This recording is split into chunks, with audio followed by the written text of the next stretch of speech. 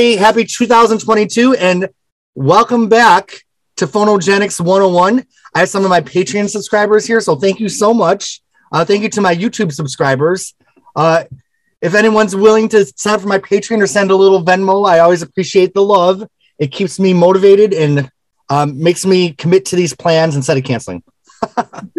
so we're doing something new. This is the first time for Phonogenics. We are starting a new series. This is the first time we ended a series, and we're actually starting a new one for the first time since I started the podcast. So we have our returning panel from the Stevie Nicks discussions, and we're going to talk about Fleetwood Mac from 1975 through present. So this is going to be a eight or nine part series. Uh, it's so great to have everybody back.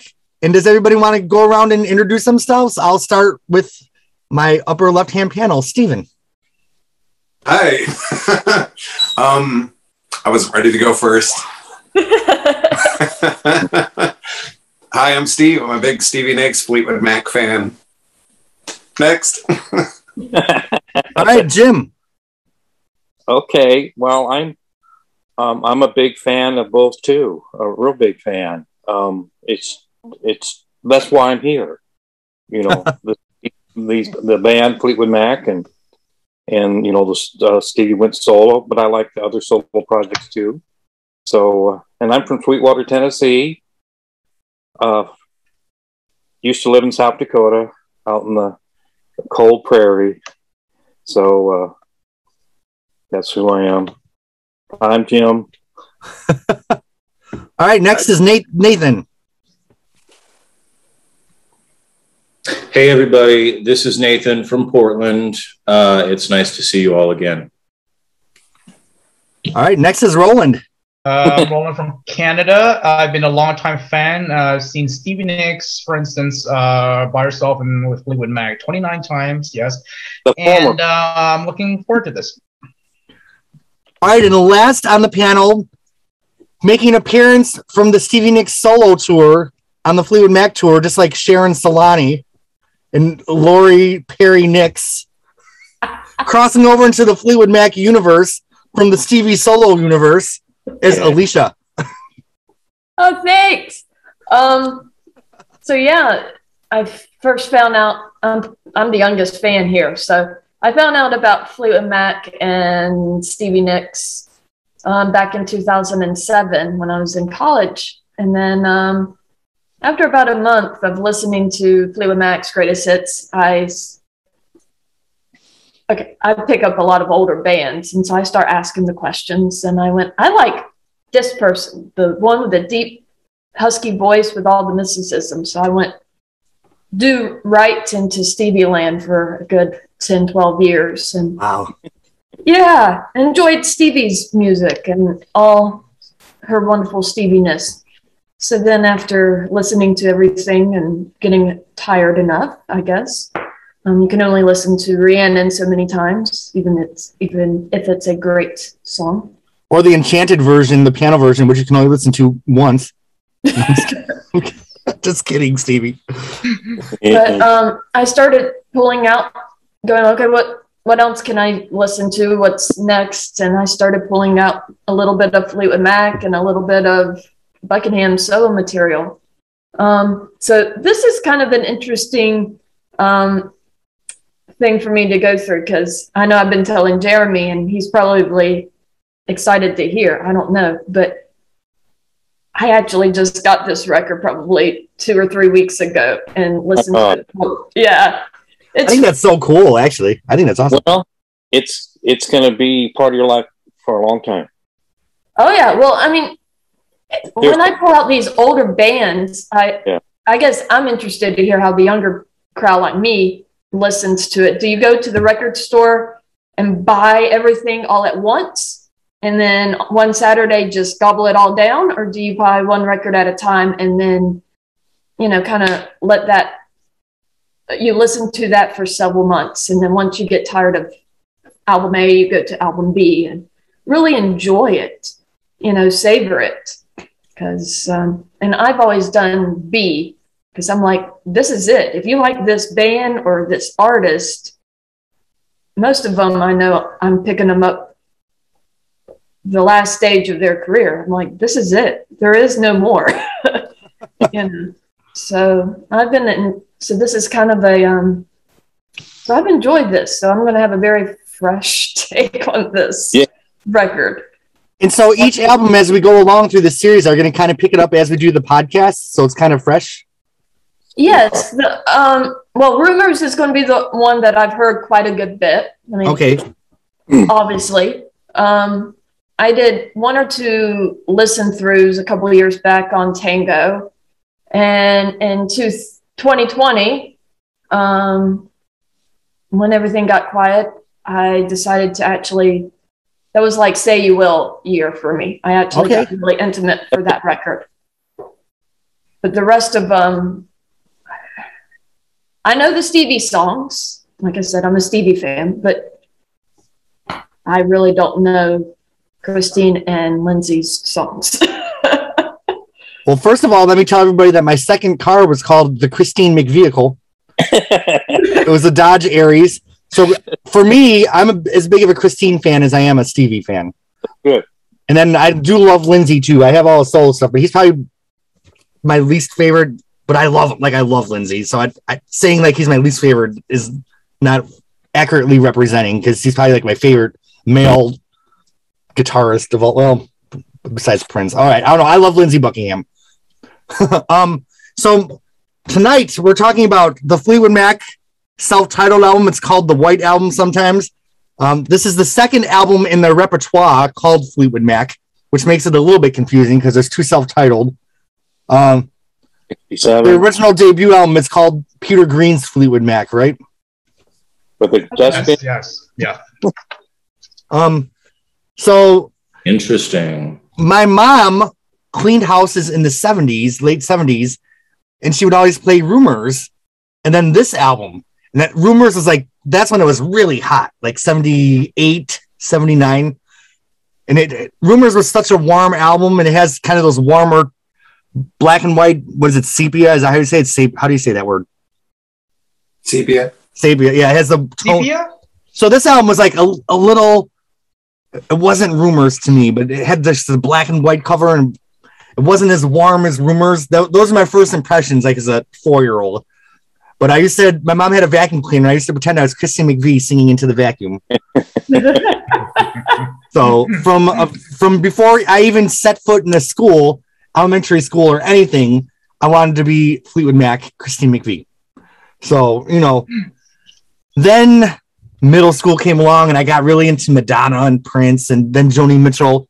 So, you know, I always still did love Stevie Nicks and Fleetwood Mac, but I wasn't really listening to them.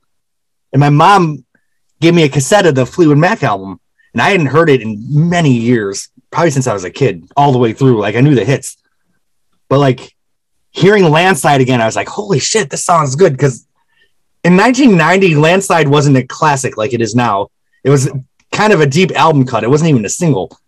So hearing that song again, I was like, holy shit. And then it got a little bit of prominence because Smashing Pumpkins covered it. So in the alternative grunge scene, we're like, oh, Smashing Pumpkins covered Landslide. And then it really went into the national prominence when the dance came out and she had her live version. This one's for you, Daddy. So that's when that's when Landslide as part of the, the Dixie Chicks version too. Yeah, the, the Dixie Chicks. Yeah. So now I feel like it's part of the American Songbook. Like it's such a a legendary piece of work, but not in 1990. Back then, it was just kind of a deep album cut that was beloved.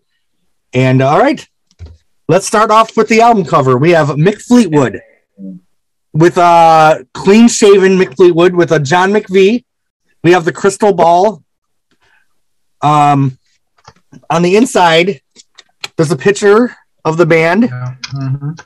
It kind of looks like Christy McVie has a maxi pad underneath her pants. Oh, oh.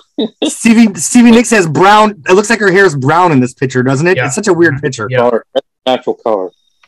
So uh, here's the the deluxe edition, but you can see the bigger album. Uh, okay. I guess the legend is that Bob Welch, their guitarist for a few albums, had quit the band because he wanted to go solo. They had released Heroes Are Hard to Find, which was another black and white album cover. Um, so with Bob Welch gone, Mick Fleetwood was trying to figure out who to put in the band. And he was in Sunset Sound. Is that the studio? Is that correct? No, no, it's uh, Sound, Sound City? City. Sound City. Okay, p- perfect. Now, some assholes always want to go on my fucking page and be like, "This host is stupid. He should have done his research." We're just doing this for fun, and I'm just talking from my memory and my heart. I'm making like ten dollars an episode, so if anyone doesn't like my wealth of knowledge, subscribe to my Patreon so I can quit my day job and sit on Wikipedia all fucking day. Rant over. So they're in Sound City. Yes. If, if I'm remembering wrong, anyone correct me. Keith Olsen. Keith Olsen wanted to demonstrate the speaker, so he played "Frozen Love" from Buckingham Nicks. Yeah. And Mick Fleetwood was wanted that guitar player. So he invited Lindsey Buckingham but he said he could only join the band if his girlfriend Stevie came along. Is that the the legend? Yep. Yeah. So didn't they not meet at a Mexican restaurant yep. on New Year's uh, Eve, right? And mm-hmm. Steve was dressed in her work clothes. it was either New Year's Eve or New Year's Day. That's right. New Year's station wagons. New Year's Eve. New Year's Eve. So it must have been 1974.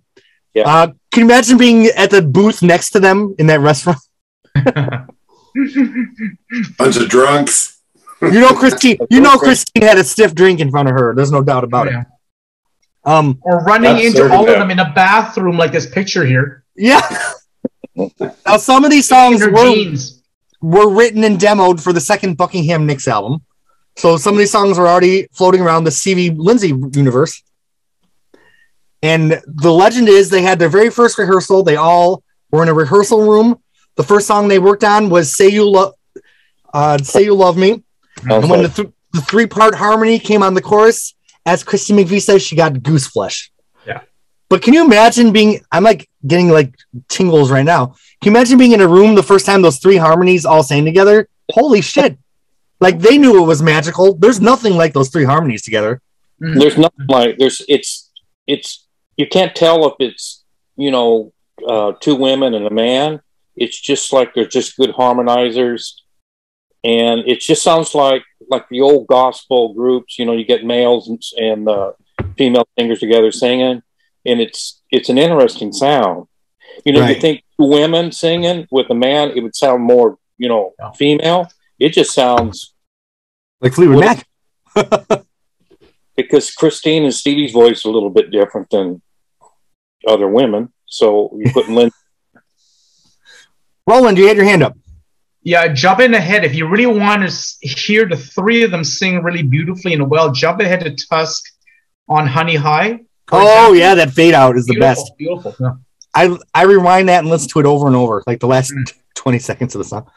Okay, so um, any thoughts on the album cover before we move into the track by track? Yeah, Stevie and Jeans. Stevie and jeans. Stevie and jeans back then, before the uh, shawls and before the uniform platform. The uniform, yeah.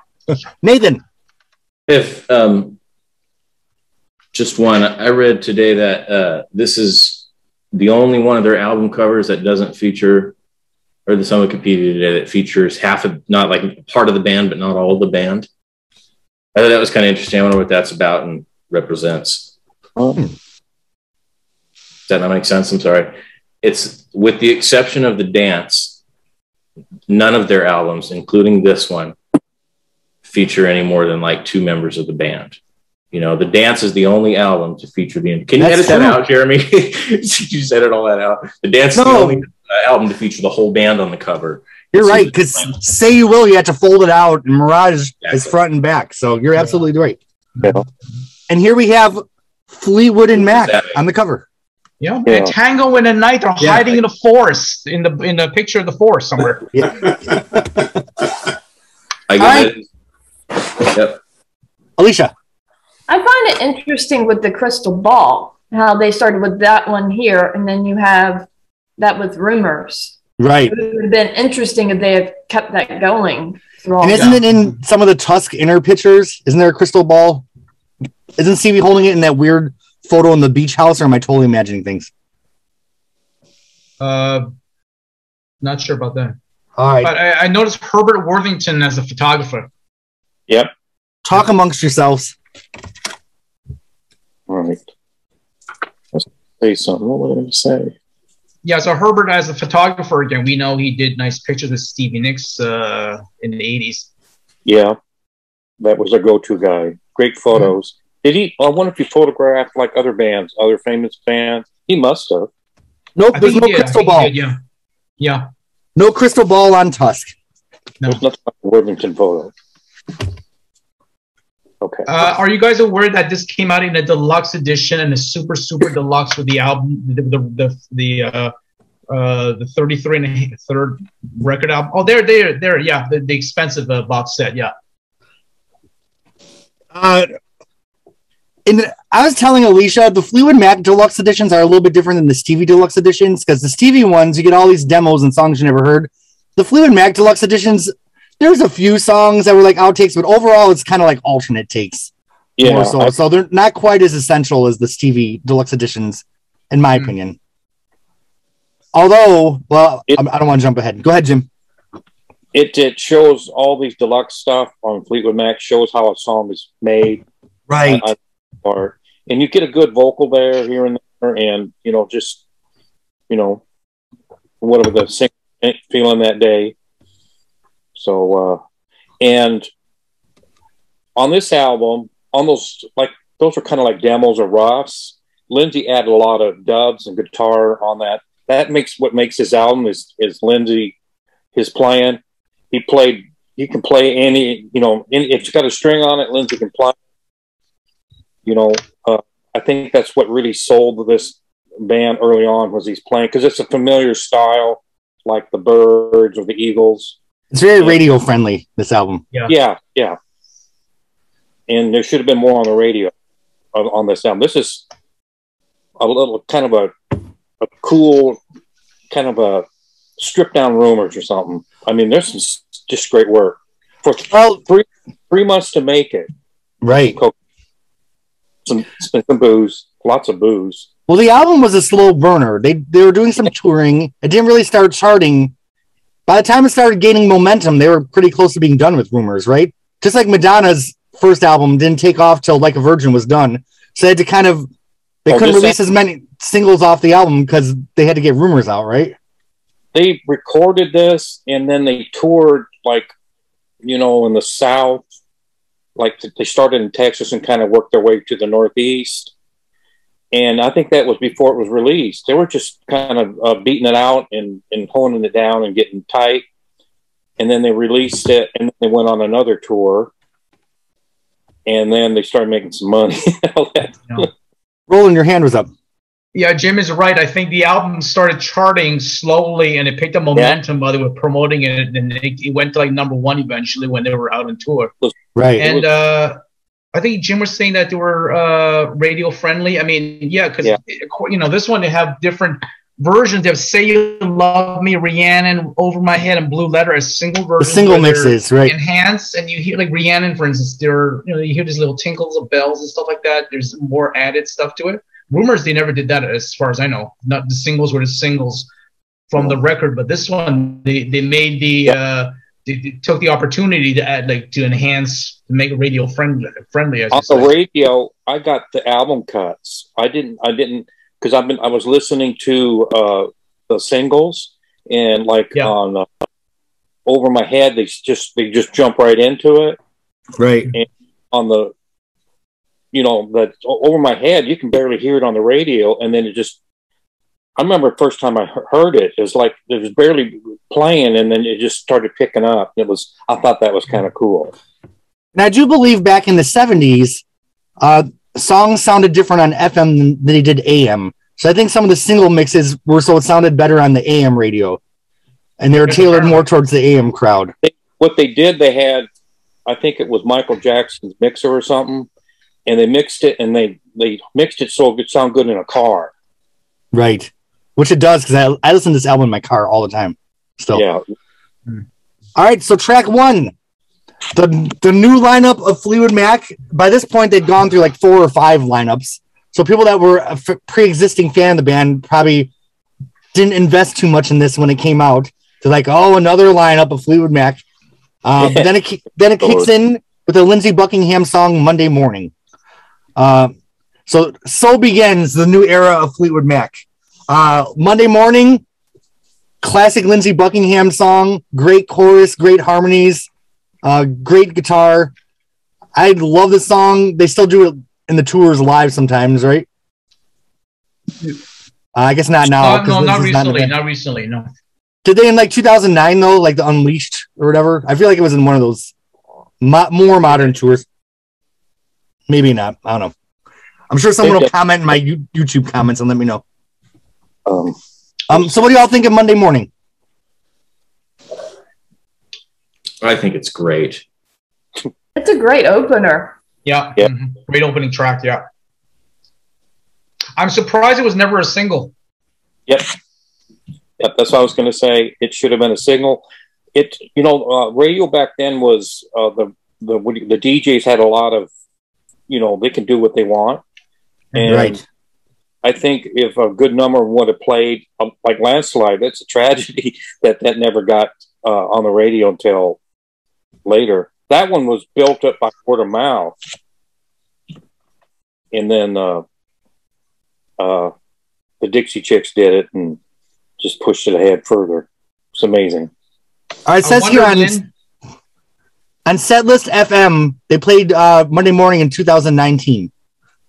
So they must have done it with the Neil Finn lineup. I thought they did it in the concert I saw him. Nathan?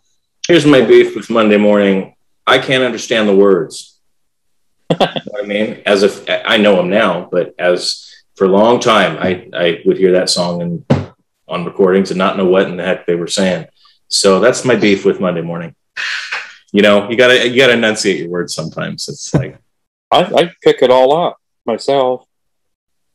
Uh oh it's a great opening track, and uh, it's a great opening track on the 1980 live album too, and it sounds amazing live. Oh yeah. Mm-hmm. There's a radio station here that used to play it every single Monday morning. Get it? oh, every okay. Morning, Monday morning, Fleetwood Mac. So it got played for that reason. I'm wondering if was that? annoyed that he did not get a single off this record. That's true. Whereas the, the ladies did. That's yeah, that's interesting. Uh, I never heard Lindsey until rumors came out. Oh, yeah, yeah, go even away, yeah. And wasn't there an ad that had a misprint that put uh yeah Lindsey Buckingham oh, by Stevie Nicks and them, Stevie yeah. Nicks by Lindsey? yeah, yeah, they, they smashed the ladies, uh, uh, Lindsey and Stevie. Yeah, yeah. yep. All right. Well, do we have any other thoughts on Monday morning, Jim? Yes, it's a, a very breezy uh, opener just gets everything going. And I like it. The vocal starts it. Fleetwood Mac is. Uh, I love how they they do stuff. They'll start off with like drums, only drums, or a vocal, or just jump right in it on just different ways of doing things. And that's why I love that. Just gets you kind of a, you know, a recognition of the band is that they're very their intros. You know, like a CCR album, they probably uh, just start the same way on all records. If you know, they may or may not, but I'm just, uh, you know, and uh, it has a very, uh, it's like a it's a, like the Eagles, but heavier. Like Mick and John are really a heavy sound. The backbone of Fleetwood Mac. It's a, it's, I mean, it's Eagle-ish, but it, it's got, it's heavy. It, and I think there's some African rhythms in it. You know, something with the guitars and the drum being played. It's, it has something in it that is like not African American, but like from Africa. Mick was he was in South Africa as a kid, and they, he might have passed a little bit. Of, Let's try this, and and that's what's great about this band. It's just like we bring stuff from all over the world, and uh, and it's a kind of a Buckingham Nick song, but with a great rhythm section. You yeah. know, it it's uh, really it should have been a single. I mean, uh, I mean, I heard this. I mean, when I got the, I got this album like 83, 84, and this is the first thing I heard from that album, and I really liked it. And, uh, you know, on, on that album went, it was start of a great record. Okay, so I feel like for these Fleetwood Mac discussions, we should end each song asking the newbie how the song landed with her. Yeah. Alicia, Monday morning, as a new listener, what did you think? Well, I don't like it, but I grew up listening to country music. So, I mean, it has, that's what makes Buckingham good for me, I guess, is he's got that twang. Yes, that folk, yeah. more folk, which the last tour they did, it was interesting that they pulled Campbell in. Campbell's a great performer. Please do not get me wrong. But I was like, made no sense to me because Buckingham, to me, is more of a picker than yep. a uh, blues player. Um, so I was surprised that they didn't do more of the older stuff to offset that. Um, but I like Monday morning. Um, it's definitely something I like to play Monday morning as we're running to work. Um, but it's upbeat. It's fun. It's um, a little rockabilly, wouldn't you say? Yes, yes. Um, this was on one of their greatest hits records when I first picked up Stevie Fleetwood. Well, I say Stevie more than Fleetwood Mac, but I picked up their greatest hits before I really delved into her material, and this was on it. So I've known this song, but like the next song, Warm Ways, or there's a couple others that I've never heard of. So it was, this is actually a very solid record. It is. Very solid record. And it, it's consistent too. It that really is.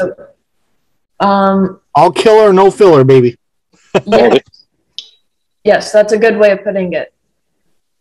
They definitely brought their A team. It was very interesting for me, I guess, because everybody my age thinks Fleetwood Mac and they go oh, Stevie Nicks.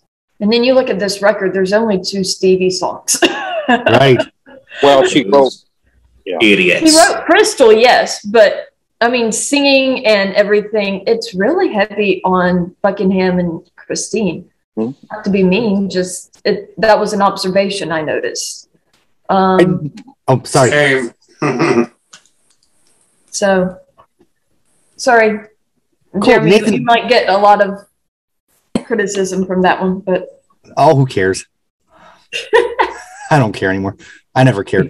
Nathan, we're gonna say something, and then Jim's on deck. No.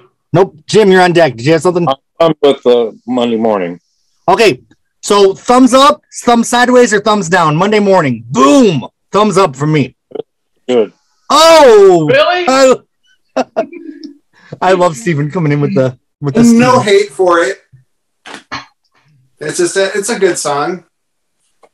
That's it. a little bit of hate. That's why you went sideways. All right. What does sideways mean? It doesn't mean. It means it's okay. It's okay. Yeah, it's an okay song. Up next, she had been with Fleetwood Mac since their Future Games album. Uh, Morning Rain was her debut into as a songwriter in Fleetwood Mac. She did a guest on Kiln House as a pianist, but as a full fledged member, Future Games was her first album. Sang on a Station Man a little bit. Yeah, she sang on Station Man. You can hear. Her. Um, she well theoretically or technically she joined on the Kiln House tour, right? Technically. Yeah. Okay. After Green, she replaced Peter Green. Basically, I mean, they need um, someone, somebody. Yeah, and she was married to the bassist. Uh, she had done one solo album at that point, the legendary Christine Perfect album, which I love. But it is all the drums are mixed in one side and all the bass in another side. So you had to put your stereo on my. I had a car. I had a punk rock car in high school, and only one side of the speakers work. And that's when I was into Chrissy McVie a lot. So I had to listen to the album just with the bass. Like I didn't, I didn't have the drums because the speakers in the, the side of the car didn't work. Okay, moving on back to Fleetwood Mac. Uh, she recorded some really, really solid songs in the previous lineup of Fleetwood Mac. I feel like a lot of Chrissy McVie songs kind of led the way towards where they went with this album.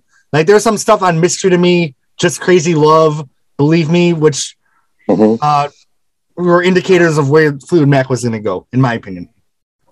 I'd love to discuss those albums later because I love those albums. Uh, but her Christine's debut in the new Fleetwood Mac universe was a song called Warm Ways. And it's very easy listening, very soothing. It's pretty uh, yacht rocky. It's very yacht rocky. I feel like Michael McDonald is just sitting somewhere, like taking it all in, and Loggins and Messina were somewhere taking notes. Mm. Is there any fans of the? Is there any fans of The Office here? Does there, do you remember the episode where Stanley's like, "I never said anything about Messina." okay, Roland, take it away. This song is so easy listening. You know, it makes me think of I'm on a beach in Hawaii. You know, with a, uh, yeah. a drink with a little umbrella in, in it. you're sitting on the you're sitting on the patio of Fleetwood's eating some clam chowder yeah, in Hawaii. Being charged a forty bucks or fifty bucks for that. Yeah, yeah. Isn't yeah. that in very, Hawaii very or Maui? It's not my favorite. Up for a bowl. a bowl of chowder at Fleetwood's, listening to Warm Ways. Mm-hmm. Uh, uh, not my favorite though. This is not one of my favorite Christine McVie songs. Okay. But I don't hate it either. Anyone else want to talk about Warm Ways? Okay, so Nathan, then Steven. Or Nathan, then Jim.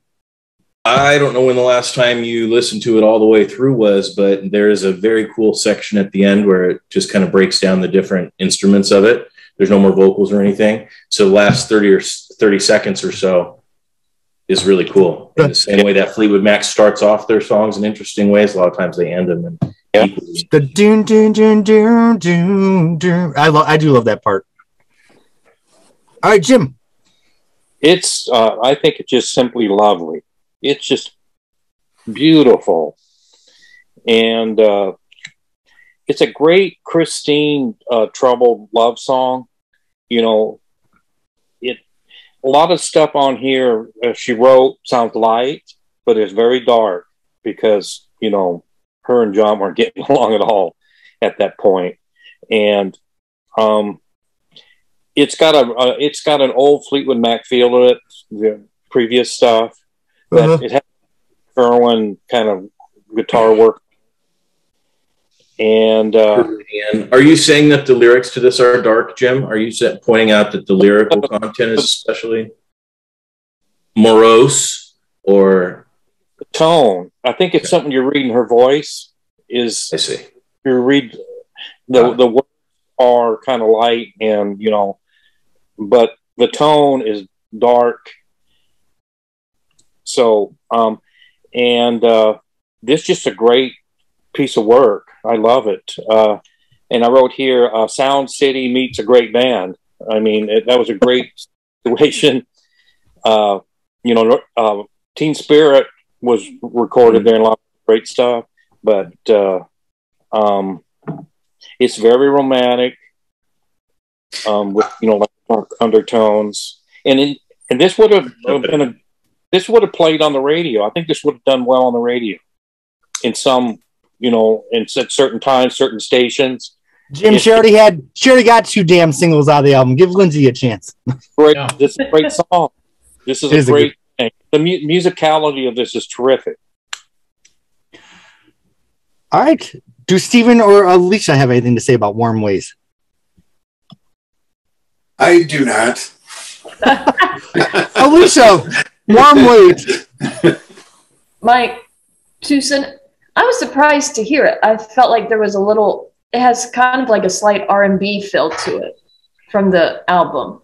Mm. But I mean, you're right. It's very smooth. It's very easy listening. Um, I feel like this was a successful attempt to what Stevie tried to do with Blue Water on 24 Karat Gold.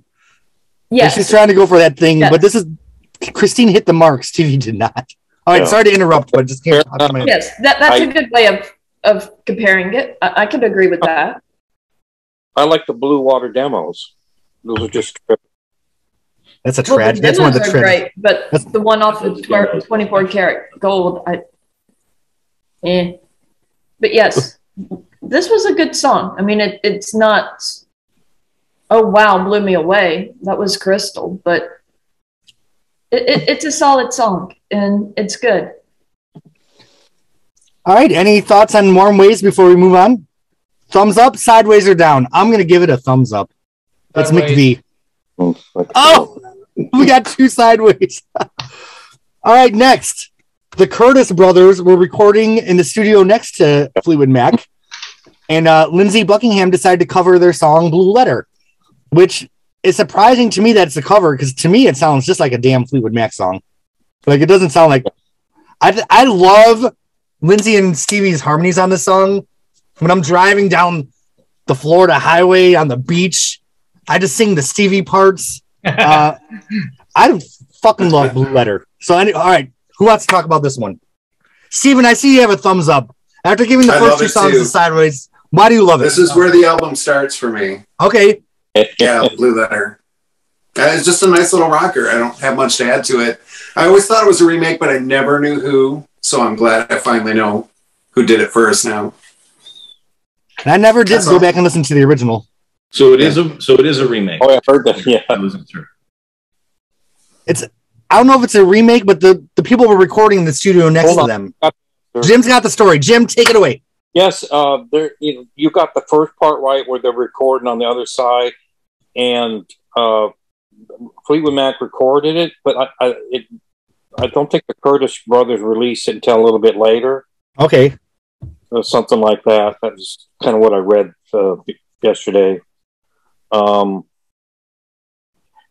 I'm a bit, I'm a bit like, uh, I'm kind of like they used to call this on the ledge uh, a shipper, and you know this was written by somebody else. But I mean, Lindsey feels this, and the whole band loves this song. You can tell, and it's kind of fits in with their other work, how they Yep. were feeling against each other and all that. But it's not like wrote. Oh, the the I read about what the uh, silver ink on a blue paper. uh, what did it? It there was something about the blue letter and silver ink on it, like a Dear John letter, and uh, that's kind of was a method back then that they would have this ink that had silver in it or silver colored, and then put it on blue paper, and it was you know stationary, and that's that's kind of the story how that was written. It's a great song, and the red bird part is the Indiana state bird. Uh, the must them guys must have been from Indiana or something. So the the cardinal. Um, most of the most of the Midwestern states, I've looked this up before. It's kind of funny, but most of them have the have the uh, cardinal as their state bird. they uh, uh, you know, they claimed it. I mean, that's the birds that are they're down here in Tennessee too. So All right, Steven, I saw your hand was up. Yeah. Did you guys ever hear the quote uh, by Christine McVie about Stevie Nicks? Um, Sometimes you can't tell what she's saying, but it sounds so good you don't oh care. yeah, yeah, that's a very famous quote. That's how I think of this song. I have no idea what the song is about. And I kind of don't care either. top of my lungs, but I make up all the words. I don't know what they're singing about. Like a Nathan, uh, like Nathan said, enunciate. Those harmonies are glorious, though. Like the Fleetwood Mac sound, especially with so good. I hate to say it, but Stevie's younger voice when she still the, could hit in the higher register in the harmonies, it was it was pure magic. Because you know now now in the concert she's like doing the eh, like the low harmony, we, which we love. You know Sharon and Lori are taking the high notes, but when Stevie could hit those high notes, the texture of her voice on top of that stack of harmonies was one of a kind. It will never be duplicated ever because her voice is so weird. Fucking McVie's voice is so weird. And then Lindsey's voice, like the combination, I love it. All right. and it, it's so cool to see it done live on the Mirage tour video. Oh, yep. No. And I think they brought it back for the 1987 tour with when Lindsay left, and they might have done it more recently. I don't know with the with the um, Mike Campbell and uh, what's his name Neil. Neil Finn. I don't think they did it I'm not- I'm 2018, sure. did they? Did they? I, I have to look it up. Not to my knowledge, but maybe. Alicia, your thoughts on Blue Letter? I was surprised. I really liked it. I like it, it. The first time I listened through this record, I put it in the car. So this was like that surprise pick me up after Warm Ways. Um, and I, I liked it and gave. There's not a whole lot of. Um, this album has kind of a steady. We're all kind of mid tempo here, and you've got this one that really kicks it up, and then I would say world turning on both sides. So that's so I enjoyed it. It was a nice break from the the tempo and everything. And it was very interesting um, listening to it. This record, as far as the lyrics, you can kind of you start hearing all the the dialogue that's happening, especially with Stevie and um, Lindsey. Yeah. Uh, Monday morning is talking about is this right? We're not getting along. You have Blue Letter, kind of yeah. in that. Is this going to happen or not? So it's interesting that it's. It's great live. Huh? It's great live. Yes. It, of, kind of the conversation is being opened up, and you have Stevie with landslides. So it's, I don't know. I feel like Fleetwood Mac is almost like watching a soap opera, and here's the first episode. Who do you think's um, right? Who do you think's wrong, Alicia? Just tell us. and not to mention on this song, what a killer hook too. Like yes, as far as like pop music, like pop rock, this song's got a killer hook. Like I like Monday Morning in Warm Ways, but this is where, like Steven said, this is where shit gets real. And when it has that Fleetwood Mac catchy hook that the best of their songs have. Mm-hmm. This one through like what what's the last great Fleetwood Mac pop song? I I love Throw Down from Say You Will personally. I think that's classic Fleetwood Mac. But I guess we'll get there in a few months. All right. Any thoughts on Blue Letter before we get to Jim's five pages of notes about Rhiannon? Mm-hmm. he told me he's like, I have five pages of notes. Uh, thumbs up, sideways, or down on Blue Letter. it's unanimous. Woo! And uh, for me, it's probably the the least favorite, but it's really good. Yep. All right, so Stevie Nicks' first Stevie's first appearance on a Fleetwood Mac album is a song that she had written for the second Buckingham Nicks album. If you go on YouTube, you can hear live versions that she was doing with Buckingham Nicks. They kind of have a more shuffle drum beat. It's a little bit different of a beat than Mick Fleetwood played. Um, and they definitely polished it up for the Fleetwood Mac version. Uh, yeah. It's interesting because the studio version uh, keeps the same chorus. All your life, you never seen a woman. And the live, Stevie never did it that way. She always changed the the words in the second chorus. You guys know what I'm talking about? Where she's like taken by the sky. The million years. Will you ever win? Yeah, in a million. Yeah. Uh, but in the Buckingham Nicks versions, I think she's singing the live lyrics. So I wonder why in the studio version for the Fleetwood Mac album they uh, streamlined it and used the same co- words for the first and second chorus. So I'm 90% sure on that one. No, Jeremy, I don't know. Keep it simple. Keep it simple. Um, yeah. Rhiannon, of if course, is one choose, of. If it were multiple choice, that's what I would choose, is so, so that she wouldn't mix it up. Yeah. You know. Um, Rhiannon, of course, is one of Stevie Nicks' signature songs. Uh, everyone watching this podcast probably already knows all these things, but we're just going to do a quick little run through. Uh, the live version became a showcase for Stevie Nicks where she just started screaming like a maniac. And she, some people say that's why her voice dropped an octave It's because during the rumors tour, she was going so crazy on Rhiannon. It didn't drop an octave. That's nonsense. That's just haters. She lost. She lost the top octave. She did lose the top octave after uh, two octaves. yeah. so after uh, the rumors tour, though, you can hear on the Tusk tour how even singing Rhiannon, she kind of changes the melody and doesn't go for the high notes anymore. Um, that version what's the version that's classic on youtube where she just wails into the song? I think it's from the rumors tour. Or maybe it's even from the it's 76 midnight, midnight special? The midnight special. I watched I, that. That one's totally baked. It cooked it there's some performance of this where it just gives me goosebumps like she she just put so much like the amount of emotion that Stevie Nicks put into those live versions is kind of unmatched in, oh, yeah. in my opinion. And that's look why it's so hard. The, Go ahead. Look up some of the Japanese versions from like 77, 78. I think 78. They're incredible. Because really now we have like, now she's been doing part. like 40 years. It's like, dreams unwind, love's the state of mind. Like she's totally on autopilot. I kind of wish they would take out the end section because it's so boring now after the fire of the old days. Like just take it out and they don't have the energy of doing that long, long instrumental like in the 1980 um, Fleetwood Mac live record. All right, can I give a hot take minutes. here? Can I give a hot take? I feel like the live versions of Gold Dust Woman have gotten better with age. For some reason, like oh yeah, that ending section just gets more and more mystical. It works.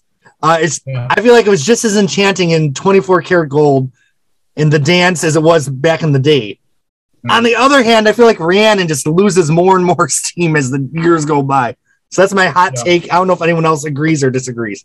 I agree. It, totally it's a lot. It's shorter. Her mannerisms are just very, you know, like they're they're plan. You know what she's going to do next with her hands, and even you know, it's it's unspontaneous like it used to be. And then and it's like you know a four minute song now, and it's, it's in the middle of the set. It's not a big deal anymore, so to speak. I'm gonna do Karat Gold. She left it at the end, but the Fleetwood Mac ones is like you know the fifth or sixth song. I'm gonna do another hot take. The, the two best versions of row. God dang, that's some heat. The best versions of Rhiannon, Midnight Special, uh, the Tusk tour. There are some great Rhiannons. The worst Rhiannons, the Enchanted box set piano version. Okay. and I think the dance, drum. Rhiannon, don't go. Rhiannon, stay. stay. Rhiannon, don't move an inch. All right. So I'm done with my rants. Jim. Oh, Street Angel Tour is good too. Oh, is it? Yeah, her voice came back. Her voice came but back. There's a lot of energy in that vocal. Yeah. Like it's a really good Rhiannon. It was the crimped hair, like the crimping the hair, like did something. Um, so is that the last time Rhiannon really rocked, in your opinion, was Street Angel Tour? That or the House of Blues. One I'm not sure which recording it is, but there's a really good one out there. All right. Some somebody from the Ledge made a compilation of the evolution of Rhiannon, and it had all the mixes on there. Did you guys hear that? Like it's mm-hmm. the last one on there. It's really good. Which band recorded this more recently? Was it Haim or somebody? No, Haim didn't do that. Because Stevie's like they're hitting the, the notes the way I sang it, and only one time. I listened. The, to, I listened to Waylon J- Jennings' version of Rhiannon. I thought he did Gold Dust Woman. He did well, Rhiannon he did too. Both. He did both. He did Rhiannon. Oh shit. Yeah. He did okay. So I feel like we all have things to say about Rhiannon, but let's just let's just let Jim dig into his four pages first. Let's just start. Jim, this is your shining. This is your moment. This is a two-parter. I'm going to do it from like an analysis. We're putting Jim on the spotlight. oh my! okay. I won't do that. I won't do that to you. Okay. Um, the the song fits in kind of with the legacy of Fleetwood Mac, like the Black Magic Woman, um, even Hypnotized, uh, and it, it sort of so the band kind of got you know the band had great music ideas to work work the song. Bermuda Triangle.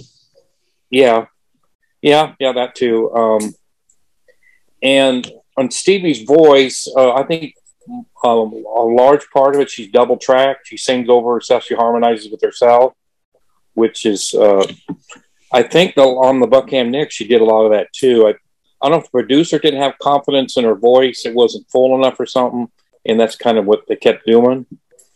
And uh, it's kind of a, a melt, uh, meeting of two worlds. Uh, um, Stevie's poetry and uh, you know what in the drive of and the passion of Fleetwood Mac. Um,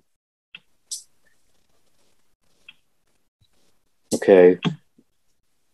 Oh, this is a very uh, when when you look at it deeply and lyrically, this is a very empowering uh, woman song. It's very empowering. It's like you know uh, you know, she rules her life like a fine skylark, and it's there's a lot of strength in that, a lot of strong female character. That's part of. I think that's part of the draw. So, um, let's see. Okay, and and just to reiterate that, it was nice to hear a woman play or sing about something. I like the I like the um, Black Magic Woman and and and there was another one from Santana, Santana called I think Evil Ways. You know, it's the dark woman character, and I, and I was in the uh, had a Magic Man that was more you know kind of the same uh, subject matter. And don't forget uh, "Witch A Woman" by the Eagles. Oh, oh yeah, that yeah that. And I loved all them. So it was kind of like cool, a woman singing like a lead. Witch A Woman? You ever see that episode of Seinfeld where they're like, "Isn't it Witch A Woman?" Okay, sorry, Jim. Okay, yes, I okay. Um, and it was I just found it I found it great that a strong woman, a woman herself, was singing a lead in a character as like a witch or an occult theme, and I, I thought I thought that was great. You know, about time, you know, because I love these other ones where the man, the the man, you know, the man would sing about, uh, you know, a woman character, a witchy character, or something like that, and it was like a woman doing this. This is just cool as hell, and uh, um, incredible lyrics with word economy it's just really a, it's just there's so much in there that can be interpreted different ways. And uh, okay. And it leaves a lot to the imagination. Uh, stevie didn't want this released as a single. She said it was like art and she didn't really want this to go to the public. I think it was like she felt so much she was so tied to it. And if it fell, failed she said if this failed, it just it's going to make it's her failing too. So she was there was a lot of tense or you know, you know, uh, she had a lot of reservations about this being put out to the because this is a, I mean, when you think about lyrics and and this has a lot of different things, you know, to interpret. And I don't know the regular listener, she was probably worried about the regular listener just picking up on it or not. But there you go. It it worked for a lot of people.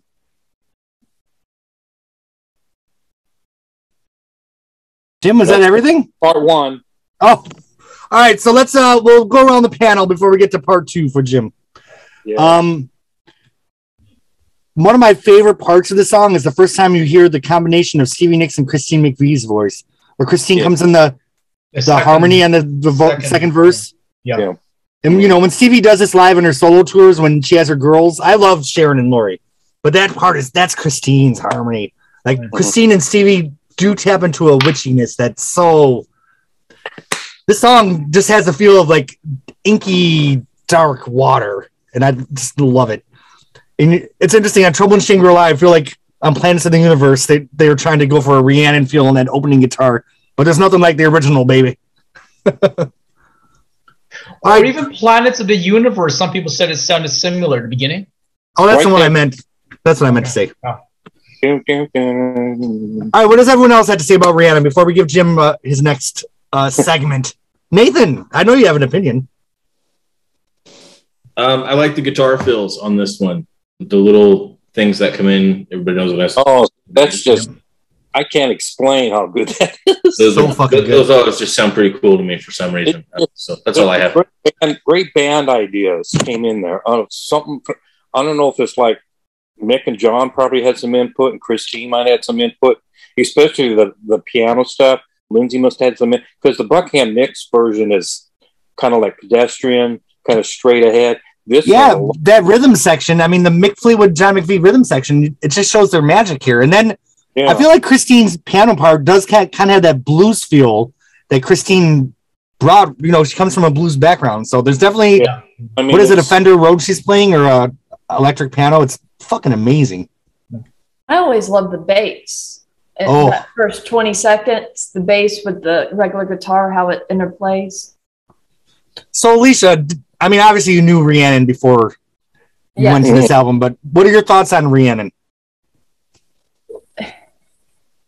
Well, it, it's the the song that made me go do right into Stevie Land, but um. And you always talk about Stevie kind of having a gothic feel. This is like the this is the granddaddy of all that, right? Or grandmother or whatever yes. you want to say. yes.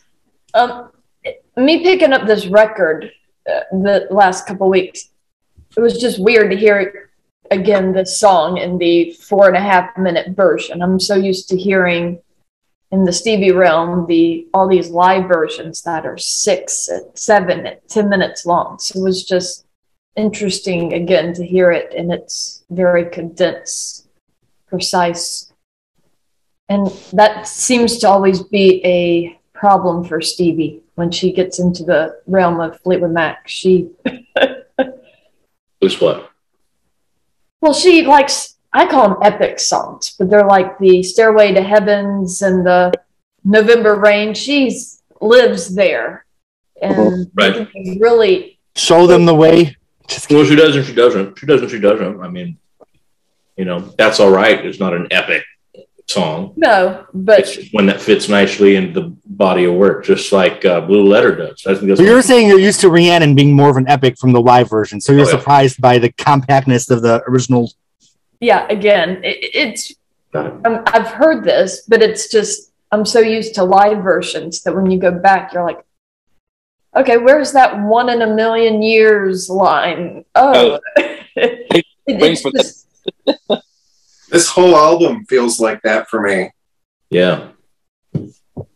I actually enjoy Rhiannon as a compact radio cut, though. This version ha- definitely has its time and place for me. I think I love the live versions that expand on it, but I think it works as a three or four minute pop song, too. Just fine. What do you guys think? I, th- I think the live version blows it away on the 1980 live album with the sure. long, long instrumental part. Yeah. I love having I mean, both. I, I, like the I like the original version, of course, but the the live version, especially in the seventies, I mean, you know, she was at the height of her powers. But I don't think they could have duplicated that energy in a studio version. So I think they were wise to make the studio version more radio friendly, and then save the save the wildness for the live. That's part version. of it.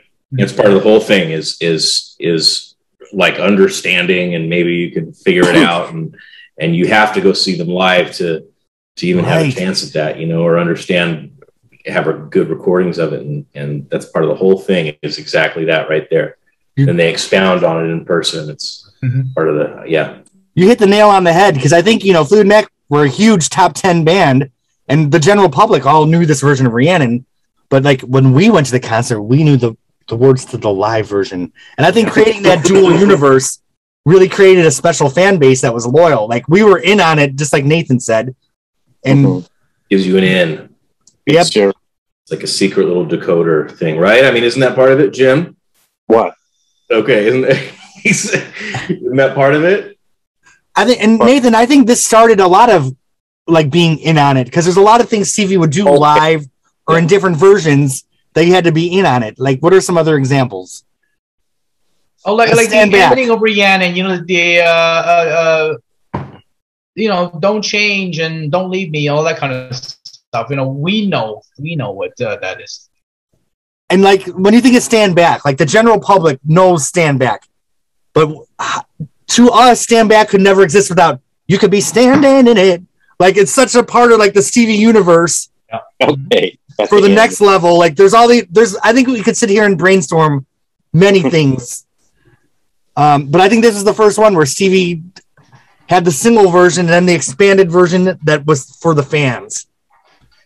It's you know? that's why they've been around for so long because their music is breathing and growing and changing.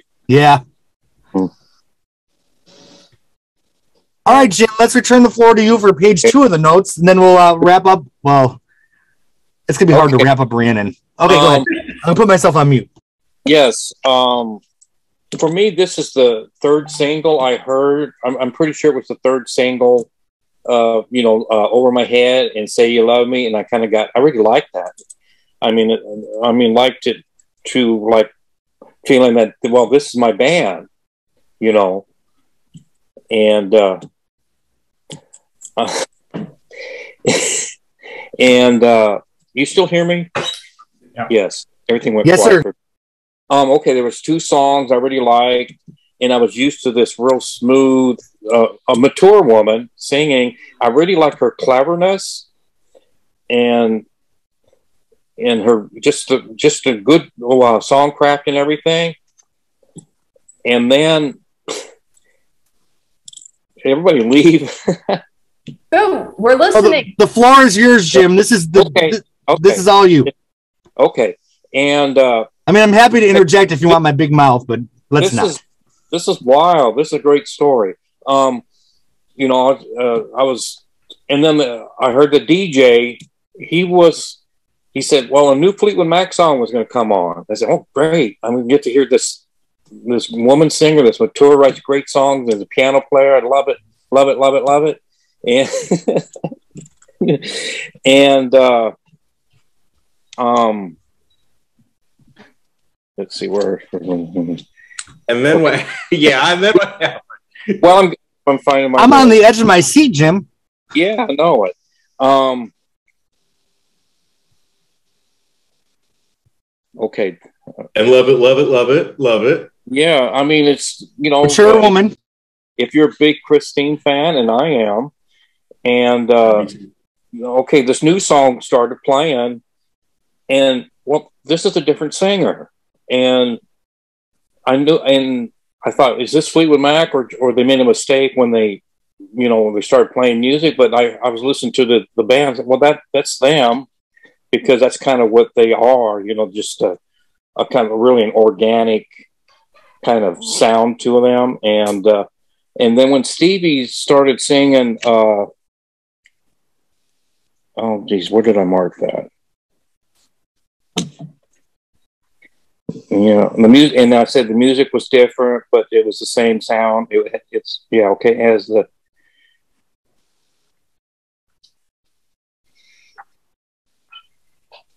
okay, and when uh, and when when Stevie started saying, uh, "All your life, you've never seen a woman taken by the wind," I thought that uh, that voice was really harsh. You know, it was just like, man, I wanted to, I wanted to hear the other singer. You know, really? For real. I wanted I wanted to hear the smooth, golden throated, you know, Christine McVie. and and uh, I heard that, brother. I heard that. I was taken back by her, her harshness in her voice, and I just didn't like her singing compared to that other other singer. Interesting. But you know, the song kept playing and I, I listened to it, you know, said, okay, I'll, I'll, give it a chance.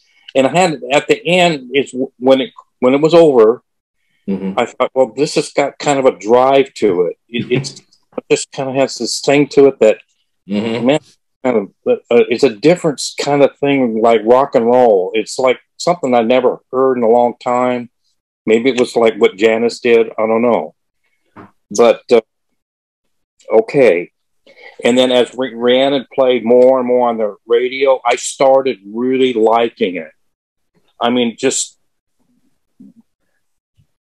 and just like you know, like like the third time you heard Edge of Seventeen or something like that, you just wow, you know, this is great.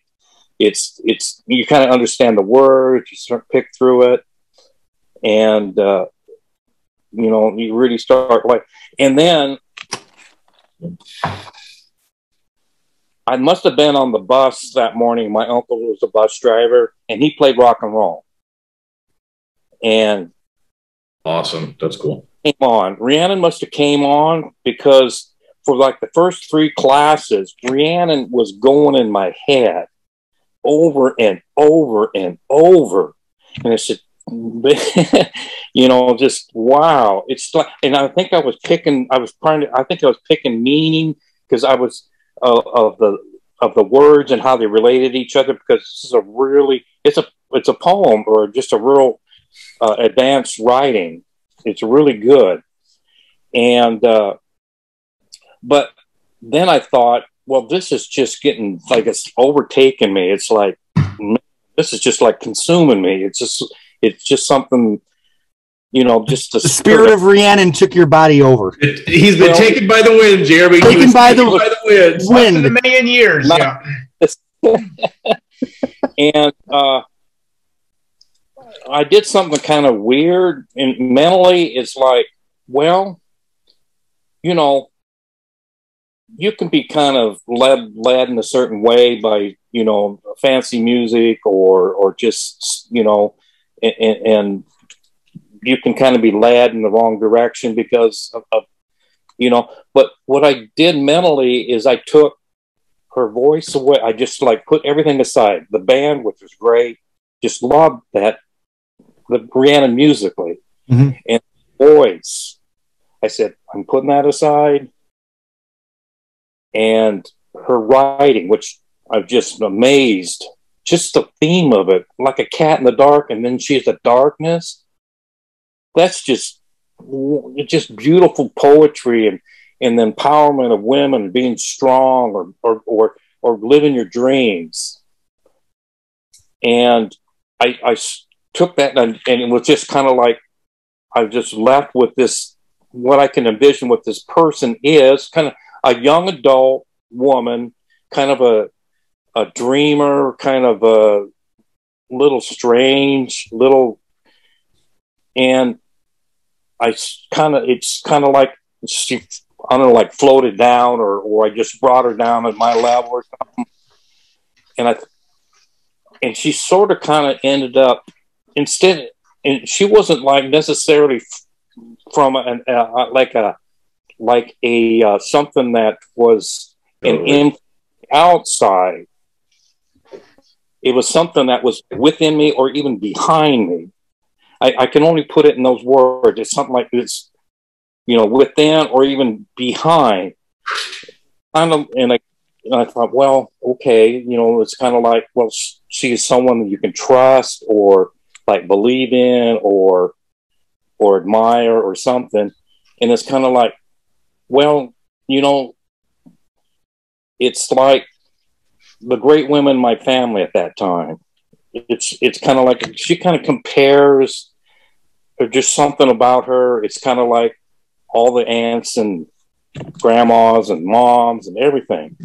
It's it was just something that I had to I had to put it in a box or, or, or put it in a car, car, car, uh, put it in a compartment and uh, and it was and then it was that for for that and then later um Jim, I'm gonna give you about a one minute warning before we yeah. move on. That's why I keep things rolling, but I want you to get your whole okay. parter in there.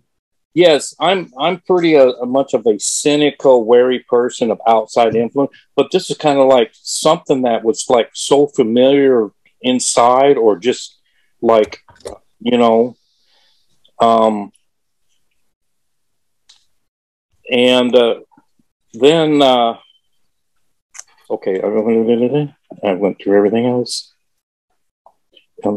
Okay then i started hearing you know I, I oh, okay I, I was I took that to heart and I kind of explained it that why do, why do I like this so much and why is it just amazing to me? And it's just like this person. It was kind of I took it down to a person level, like she even just the the words, just put the word of just her spirit or or or or whatever. And I I just put the, okay, and then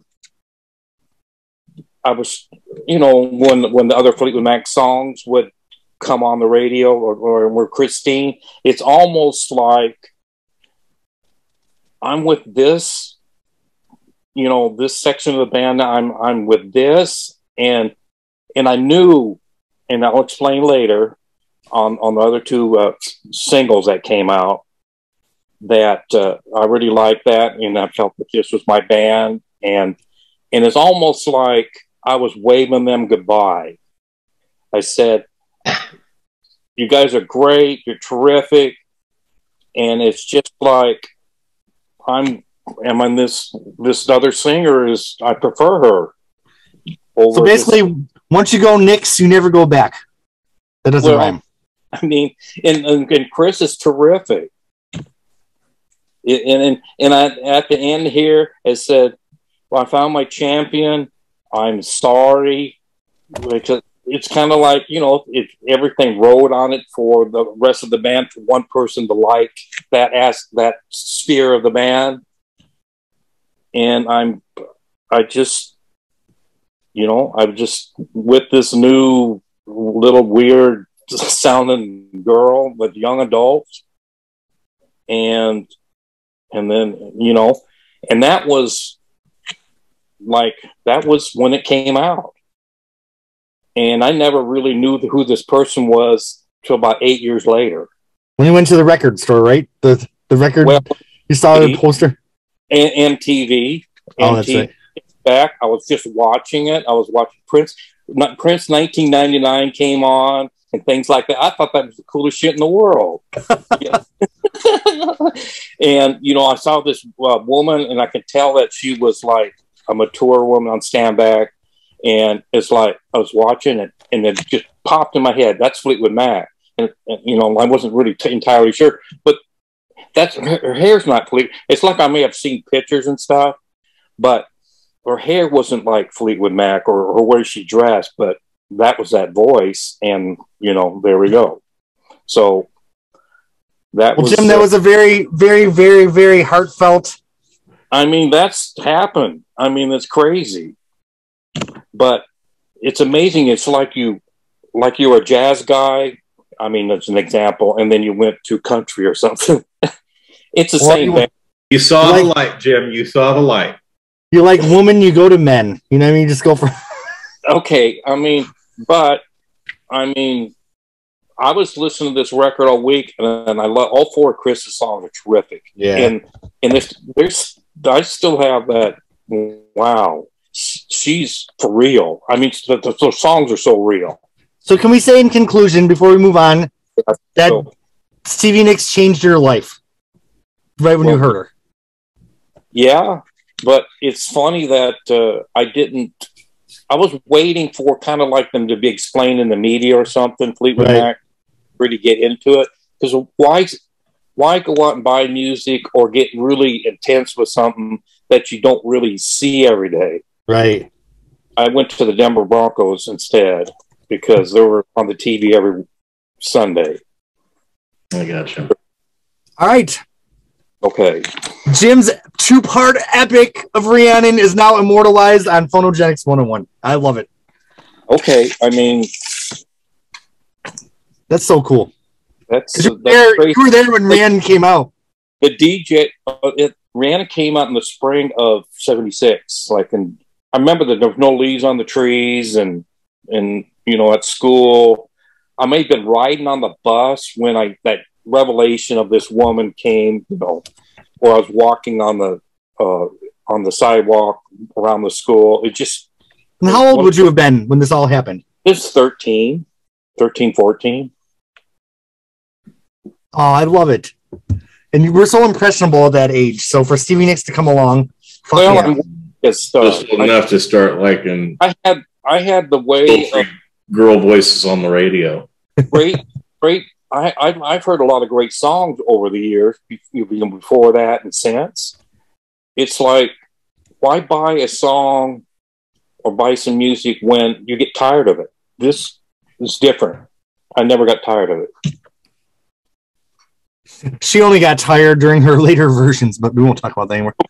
All right. Okay. Any other thoughts on Rhiannon? Is that? Well, thanks to Stevie Nicks, there are thousands and thousands of young girls, or even older girls or women out there named Rhiannon, thanks to her. Yeah. yeah. One of them slashed my tires and uh, at a club. Oh, and then, that's not a nice Rhiannon. Or her boyfriend. Yeah. that's not a nice Rhiannon. her boyfriend did. Okay. Uh, so Rhiannon, thumbs up. Oh God, I can't. There's no way. Did I miss anybody? Did anyone have any thoughts? I don't have that many thumbs. All right. So moving on, as in the words of Jim, we're moving on to one of the singles by the mature voiced woman. Yeah. That we know is Christy McVie. Now, I'm not a huge listener of the expanded edition. Like I always buy them and I like them. But I do have to say the demo version of Over My Head has the original Christine McVie like classic piano track that they took out of the album version. Which one? I love it because it reminds me of like something that'd be off Mystery to Me or uh, Heroes Are Hard to Find. So hearing Over My Head with the acoustic piano and the verses just like gave me the biggest life ever. But they took it out of the the classic mix. Um, thoughts on Over My Head? Jim, and then Roland. Yes, uh, this is one of those things with the radio. Radio, radio was on, and uh, there was a real slow little. You can barely hear the instruments coming on, and it got and it picked up and got stronger and stronger. I don't know. It was the first time I heard this, and then I heard this, you know, woman singer, and, and with some kind of odd lyrics. but when she went, uh, let's see, uh, well, when when Christine said, "Your," when she went with a hard vocal, your mood is like a circus wheel, and I think I was I was in the basement and the radio was on. I think I was walking up the steps, like the third or fourth step. It's weird. It's to have this memory. And it's almost like she was directing that angst against me. It's like you don't hear this on pop radio, kind of a vocal like that. It's almost like, well, is she talking to me? it's crazy. I think that personal connection that everyone feels with Fleetwood Mac is why they've I mean, endured. And you know, uh, I just love it. Just it. Um, because I think we can all safely say that there's times we felt like they're singing this, this only about me. Like they only understand me, like no one else can. Yes. And the intro kind of reminds me of like the sun rising, that the really slow intro. The day is beginning. Fading. Yeah. And I mean, it's um, it's a very believable song. You know, it's about. I mean, oh, there's a story that uh, I don't know going around that this is direct directed at Lindsey because they weren't getting on as kind of collaborating and working through songs. Yeah. And Lindsey's kind of a hard ass, uh, you know, and, and it gets results though. That's right. And you know there was some clashing. That's one of you know. It's like always, tell that to my platinum record sales. I always, right? I always thought. See, I feel like this one's got to be about John McVie. I feel like it's got to be about John. Yeah, I, mean, I, I would think it's your mood I mean, like she way they hit that vocal, you know, he was a drunk and kind of a little bit of a bastard, you know, a large, you know, when he was doing that, he was a bad guy, and he's a sweet guy when he's not. So she had enough of it. So, um, let's see.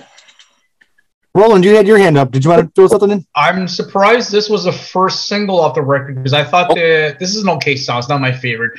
Uh, I thought there were s- other songs that were stronger that could have been a better first single, like "Say You Love Me" or "Monday Morning" or "Rhiannon."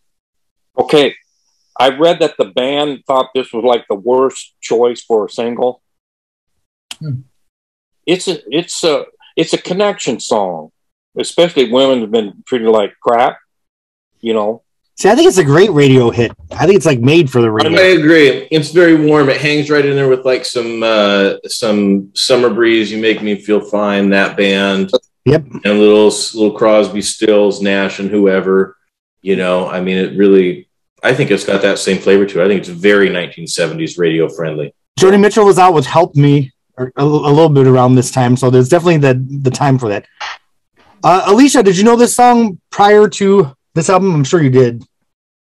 I think I've heard it, but I really listened to it here in the last couple weeks, and it's it's a solid song. It just also reminds me why uh, Christine has a great voice, a great timbre of a voice, and then she turns around and she sings all these really bubblegum pop songs. Not all of them I'm warm ways I wouldn't say is bubblegum, but she does a lot of bubblegum pop. Or what was considered bubblegum pop in the uh, I, I grew up in the late nineties, so we had a Okay. There's some great that era was great music. Yeah, but I, like I, I, think of this like Olivia Newton John. It, it's good, okay. but okay. I think I I beg to differ so, because of the vocal. I with that. Good argument. It, I think the instrumentation is really organic, very like, you know, um, it's just very grounded you know, and earthy and organic. Yeah, I mean it's it's kind of like uh, real. I think another it's, song that was out on the radio at the time, uh, I guess it was a couple years earlier though, was like Carly Simon. Haven't got time for the pain. I feel like that's the same oh. kind of radio aesthetic. Us with Carly Simon and I love Carly singles. Big hit. Um, the one with Mick Jagger sings in it. Um, shit. You're So Vain. That is not. that hasn't dated a, not one bit. But you feel all these songs had that mid '70s radio sheen. Yes, with an organic, not not a sheen as much as an organic sure. characteristic about them. You're no good, Linda Ronstadt. Yeah, organic. Yeah. Kind of, not in the same way that Over My Head and Summer Breeze, You Make Me Feel Fine are organic, but a right. similar organicness. That was a good comparison. Summer Breeze. Summer Breeze. I guess I never thought of Christina's bubblegum as more just radio friendly, I guess. Like 70s well, you radio could call it radio friendly. To me, it's like the 70s version of bubblegum pop. There's it, has got good lyrics, but there, I, I feel like it's really light and airy and it's very fluffy. And when you really listen to the lyrics, you go, "Holy smoke, she's actually it's, it's a sad song."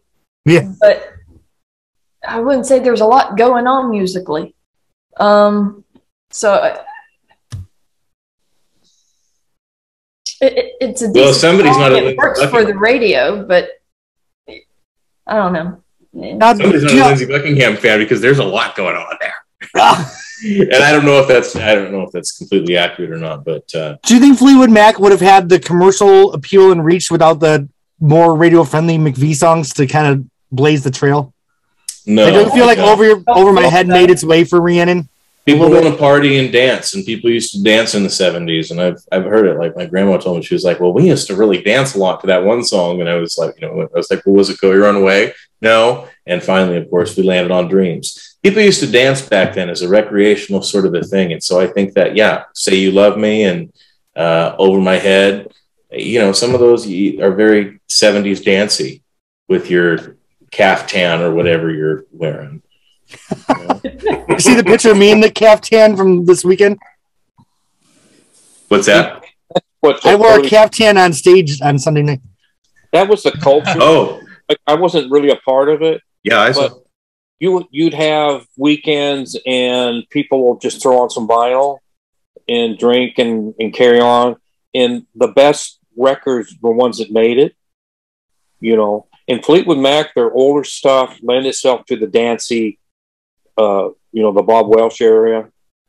There, there's a lot of dancey, a lot of um, hmm. cool, cool sounding yeah. stuff. But not everybody is gothic and moody. You need something to counterbalance the. Yeah, the and and Christine does that beautifully. It's yeah. Not, not every song can be desperado. You also need some. Yeah. You know, yes, but it's to make it easy. Not every song can be Wild Horses. You also need some satisfaction. I think that's why the Fleetwood Mac albums are so much more successful than the Stevie solo albums because we have that balance. Life in the I did say at the beginning this is a very strong record. They really do balance each other out, the three of them. They really, really do. Yeah. But th- yeah. there's a reason I'm not the hugest Christine fan. I see I've really stirred up everybody. And- you, oh no! Now you got it, man. Now there's no right or wrong opinion about music. But hey, this is I'm more of this way than that way. I'm just. So. We can all agree that Christine McVie's lyrics definitely don't have the depth of the Stevie Nicks song. This is, this is kind of what uh, maybe at first glance, Ford, Stevie, and Lindsey were. They were like a working band. That was like a job they didn't really care about fame. I mean, they just wanted to get, they wanted to go on the road and play. I and be comfortable, go to Kiln House or whatever, Benifolds or whatever they went to and yeah. record. And, and, you know, that was their, that was their existence. And then this came along. I'm gonna take back my statement because there's things on Christine McVie's "In the Meantime" album that I'm like, oh, they like ripped my heart out. Okay, That's a good album. Oh, good. I'm glad you took that back. I really yeah. Good. I love, I love. I like. Uh, I like that album too. Okay. I love, oh, go ahead, Jim. I love Call Calamy or Calamy or. Oh or, yeah, I love every song that do. Well, I'm I'm tied to the mast, and I think Stevie's got me tied to that mast. okay, so let's try something fun. Alicia, don't put your rating till last because I want to see what what you're gonna put compared to everyone else, just for fun. Over my head. Thumbs up, medium, or down? Medium. Oh, we have medium in the bottom row. I love it. Uh, Started it all. Next, we have a song that was written by Stevie Nicks, but sung by Lindsey Buckingham until the Practical Magical soundtrack in the 90s when Stevie finally recorded a version with her doing the vocals. Uh, is this the only time that Lindsey ever sang a song that Stevie wrote, except maybe on the Buckingham Nicks album? Unfortunately. um, well, she's a great songwriter. She should have written more songs for the other two. Crystal was recorded on hers. She could write lyrics for them to sing. Crystal was recorded three times. First on the Buckingham Nicks album in a different time signature. It had a different time signature. Then they did it on the Fleetwood Mac album, and then Stevie's solo version on Practical Magic. Is there a story why Lindsey's singing on this? On both? There's no real. It might I be never heard his voice worked better with. Well, dude, he probably shamed her into it. He was like, "There's too much of you on this album, and you're too prominent, and so you need to go be quiet for a while, and I'll, I'll sing it." It was probably like that type of a situation. I don't know. It's they they do they go duet through both you know these versions. They they sing together. So, um, well, I was listening to like yesterday, and I said I was listening and just you know just kind of open mind open, and you can just yeah. tell wrote it. You know, it's her the way she writes. All right, Roland, you had your hand up. Uh, I think this version's great. Lindsey's voice is great. I think this is better than the Practical Magic one, where her voice is kind of harsh, but I think that's because of time. Roland. Lindsey's better on this one. It's true. That's true. I think Lindsey's better her on this one. really harsh. I'm sorry on, on Practical Magic. Do you always trust your first? Yeah. yeah. awesome. Jim. Um, I think the Practical Magic version is the best version myself. I okay. Think. I, I need, like, yeah. Um, uh, I think Christine's playing on this sells it. It really makes it a lot better than Buckingham Nicks for yeah. playing. And you know the guys, um, you know uh, Mick and John. It's it's it takes it to a different. And really, the the Buckingham Nicks version is really good, and this is just a different it's better, and both are great. Both of them are fine. All right, now, Alicia, I feel like earlier you mentioned that you love Crystal. What are your thoughts? Am I remembering correctly? Yeah. Um, okay. The first version I heard was Stevie's from Practical Magic, and when I heard that one, I was just taken away with it. When I was listening to this record for the first time, um, I was really surprised by this album version. I, I think it's kind of the highlight for me pulling through this record here in the last couple weeks. Um, I was surprised to find that it was Lindsey who did the lion's share of the singing, but he executes it very well. Mm-hmm. I mean, and it also surprised me that it was, I mean, Stevie does some of the lyrics, but I'm like, oh my goodness, this is a duet, really kind of um, and then it made me think, how, besides the chain, did they really do duets in this group? And it made me realize they had the perfect setup to do a lot of duets.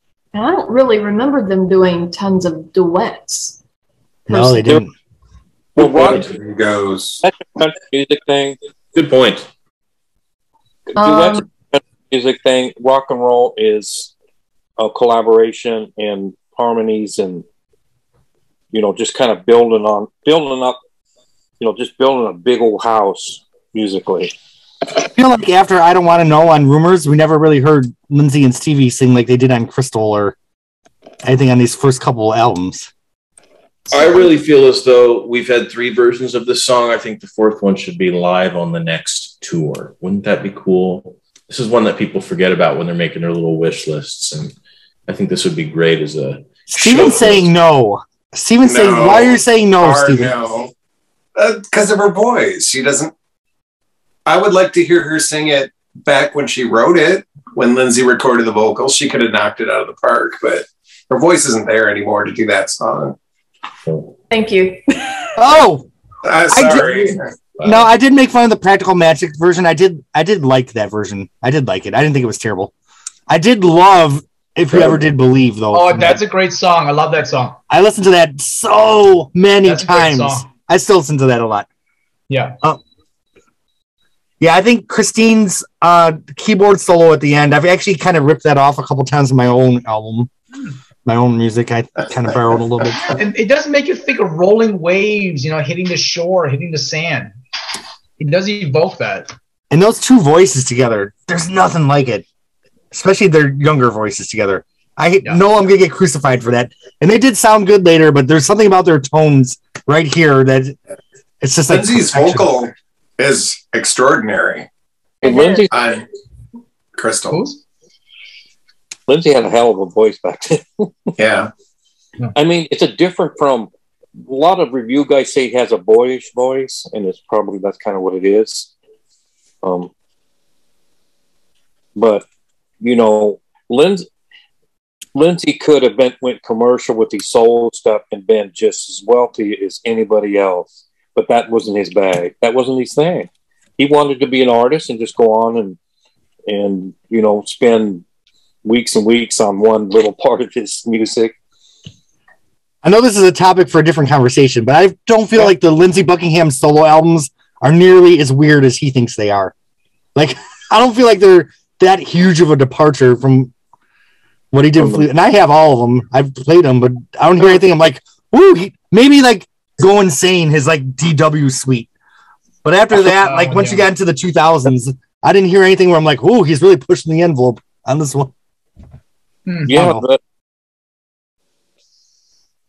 I mean, he's he's not accessible. He doesn't want to be, or he's just doing his, you know. But I feel like his lack of accessibility is more like his hooks aren't as strong on his solo albums. Not he's like doing these crazy sound collages that are so experimental. I feel like the hooks aren't as good, but I don't know.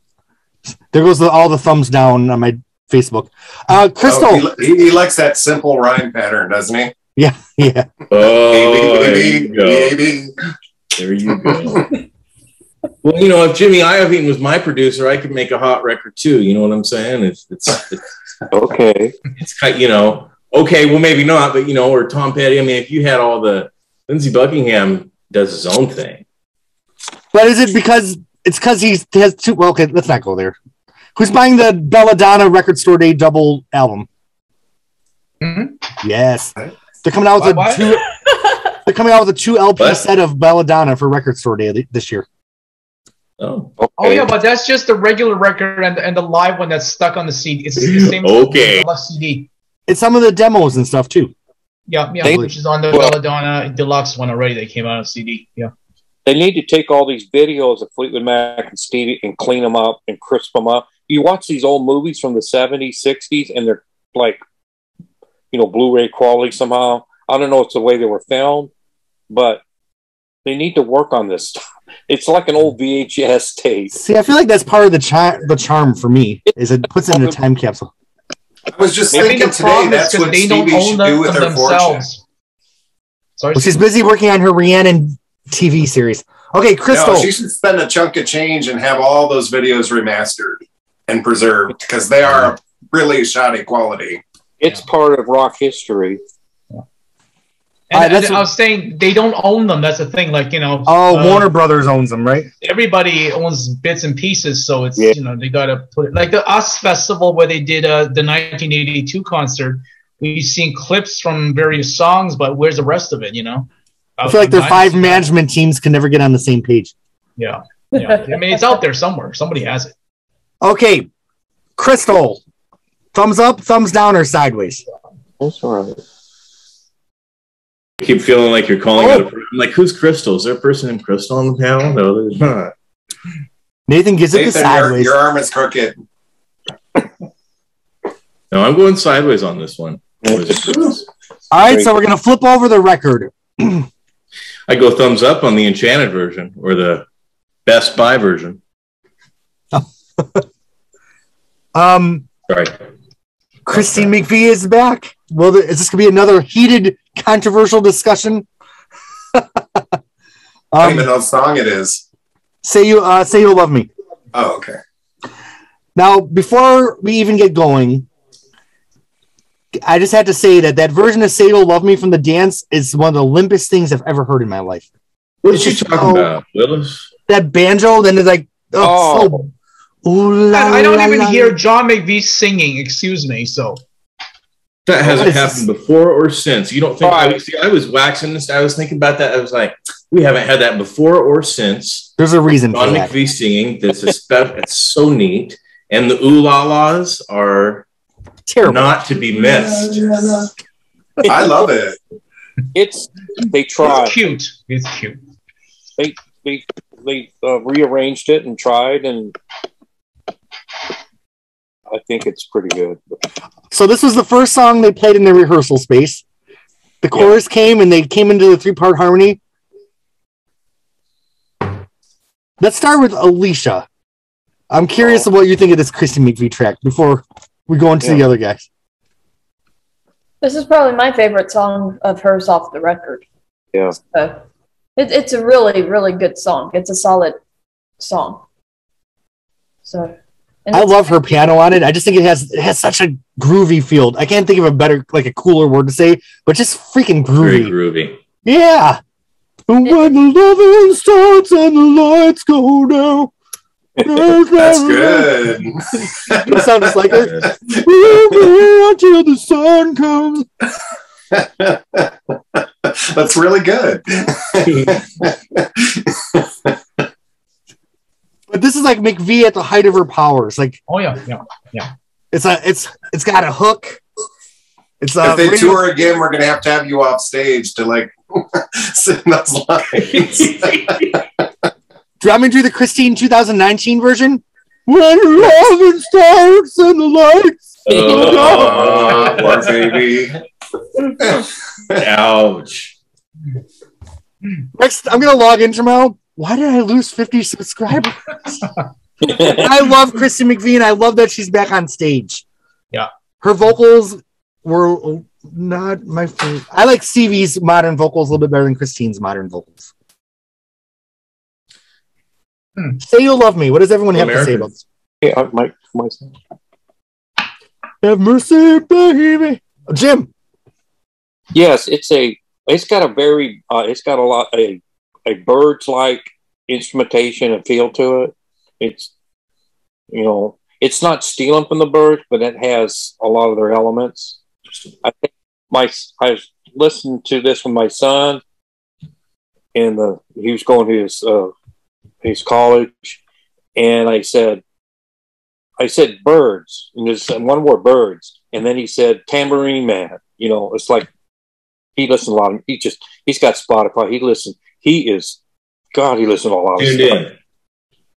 But uh, um, dialed in. A, yeah.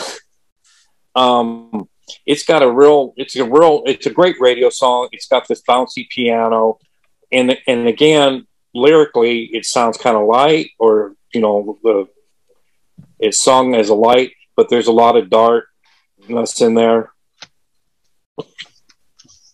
I will say I did not love the single edit with the extra guitars. That was a little too cheesy for me. I like the album version. The trans at the end, the falling, falling, falling, and the you know the harmonies on that. That's a great. That's beautiful.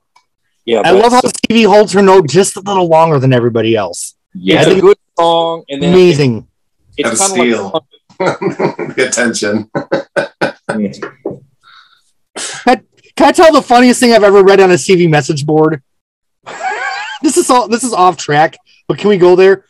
The okay. Tango in the Night Please. live version of Everywhere, where uh this is like I want to be with you everywhere. I want to be with you. Like, yeah. Somebody wrote on a message it. board like Stevie. Stevie should have just gone on stage and hit a gong right in the, the middle of the song. yeah, yeah. Don't you sing it that way every time you hear it, though? Yes. I, I, it goes in my mind. I, am thinking it. of Stevie when yeah. I'm thinking. You can't. Un, it's one of those things you can't unhear. Alicia, don't. If you don't know that, don't listen to it because you'll never unhear it, and everywhere will never be the same for you ever I'll again. Be with you. I'll be with you. Like out of nowhere, there's no reason for it to be in there. But see, no, like, it's oh. great. it's great. and with their stupid like filmed after the fact close ups. yeah. You see Stevie smoking a cigarette before the song starts, and she's wearing a what a, a denim blue miniskirt, I think. I gotta yeah. stop. Back to back to 1975. Back to 75. Thank you. Thank you. Stevie definitely held the note just a tiny bit longer though, and I think it works. Yeah. That uh, fall and fall. It's so good, except in the dance version where I feel like it's limp. Yeah, it's the best uh, Christine song on the record, and uh, again, I'm surprised yeah. this wasn't her first single because it's it's a str- the strongest single. I think it, it was the strongest single, but it should have been first single. Uh oh, Sugar Daddy might come and have a fist fight with you. oh. Do you think Stevie's even singing on the on the dance version? I think she's just. I think her mic is shut off on that. I think it's not her, her, It's not prominent. Let's put it that way. It's not. No, because everywhere like, on Tango. I, I, strain and strain and strain to hear her. I can't hear falling, falling, falling, and then she just doubling Lindsey's melody. I feel like they're on the same note. Could be. Question: oh. Fleetwood Mac panel is the dance its own discussion or is it a side note? In your opinion, we've got to do the dance.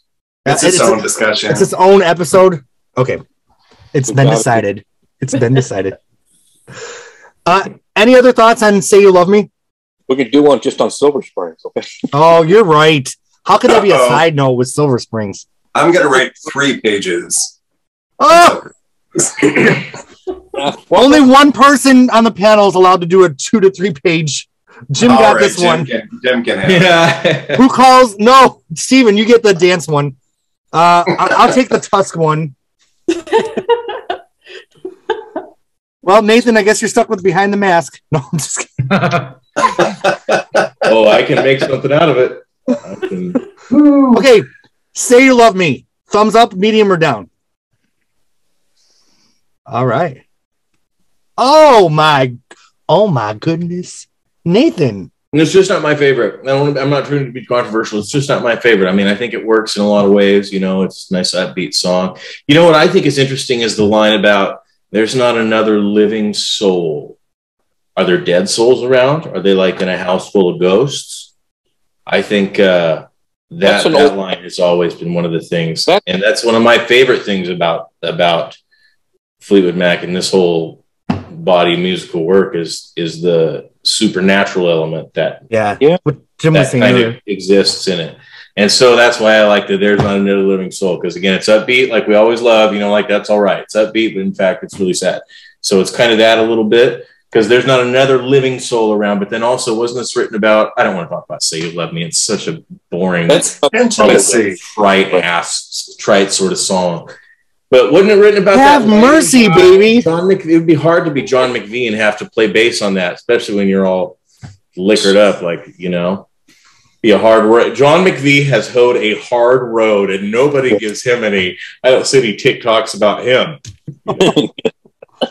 um, Stevie Nicks did say before she joined the band, she bought all their records and listened to them back to front, and she she did hear a thread through them all, and I think it is that mystical supernatural thread. And let's not forget I feel the Danny Kirwan, Bob Welch albums, Future Games and Bare Trees have a lot of mysticism and like otherworldly, ghosty kind of stuff in them, which I love, love, love, love. Jim, I've while doing this, I kind of well, I listened to this uh, a few times, and then I started. I went back to that era, the the Welch and uh, Kirwan era, and there's some there's some good there's some good uh, recorded stuff on YouTube now from that era, and Bob Welch live was a killer. Yes, he was a killer. He sang pretty yeah. good. I was, love Bob Welch. The shit is good all the way through. There's all the, all those old ones are. I they kind of dip as a, as an like an act because some of their stuff, their their albums were a little, eh, little trippy, you know. They get trippy. But the live act, they were they were pretty hard. Now I gotta ask, and no pressure at all.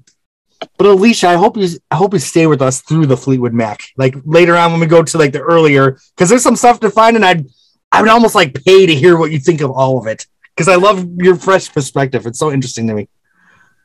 Okay, well, and now the more I listen to this on the or album, because we're gonna do Rumours next. Right. That one I I definitely have heard 15 million times. Yeah. This one will be the one that gets played here another couple weeks, and I really will have it more soaked than the it's, half a dozen, dozen times I've already listened to it. So it's going to stay with you. It's yeah.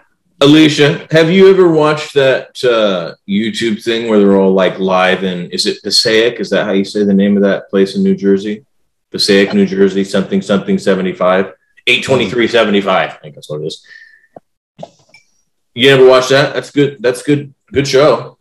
Oh, you. Also- they opened with state. They were opening the tour with Station Man, which was an old.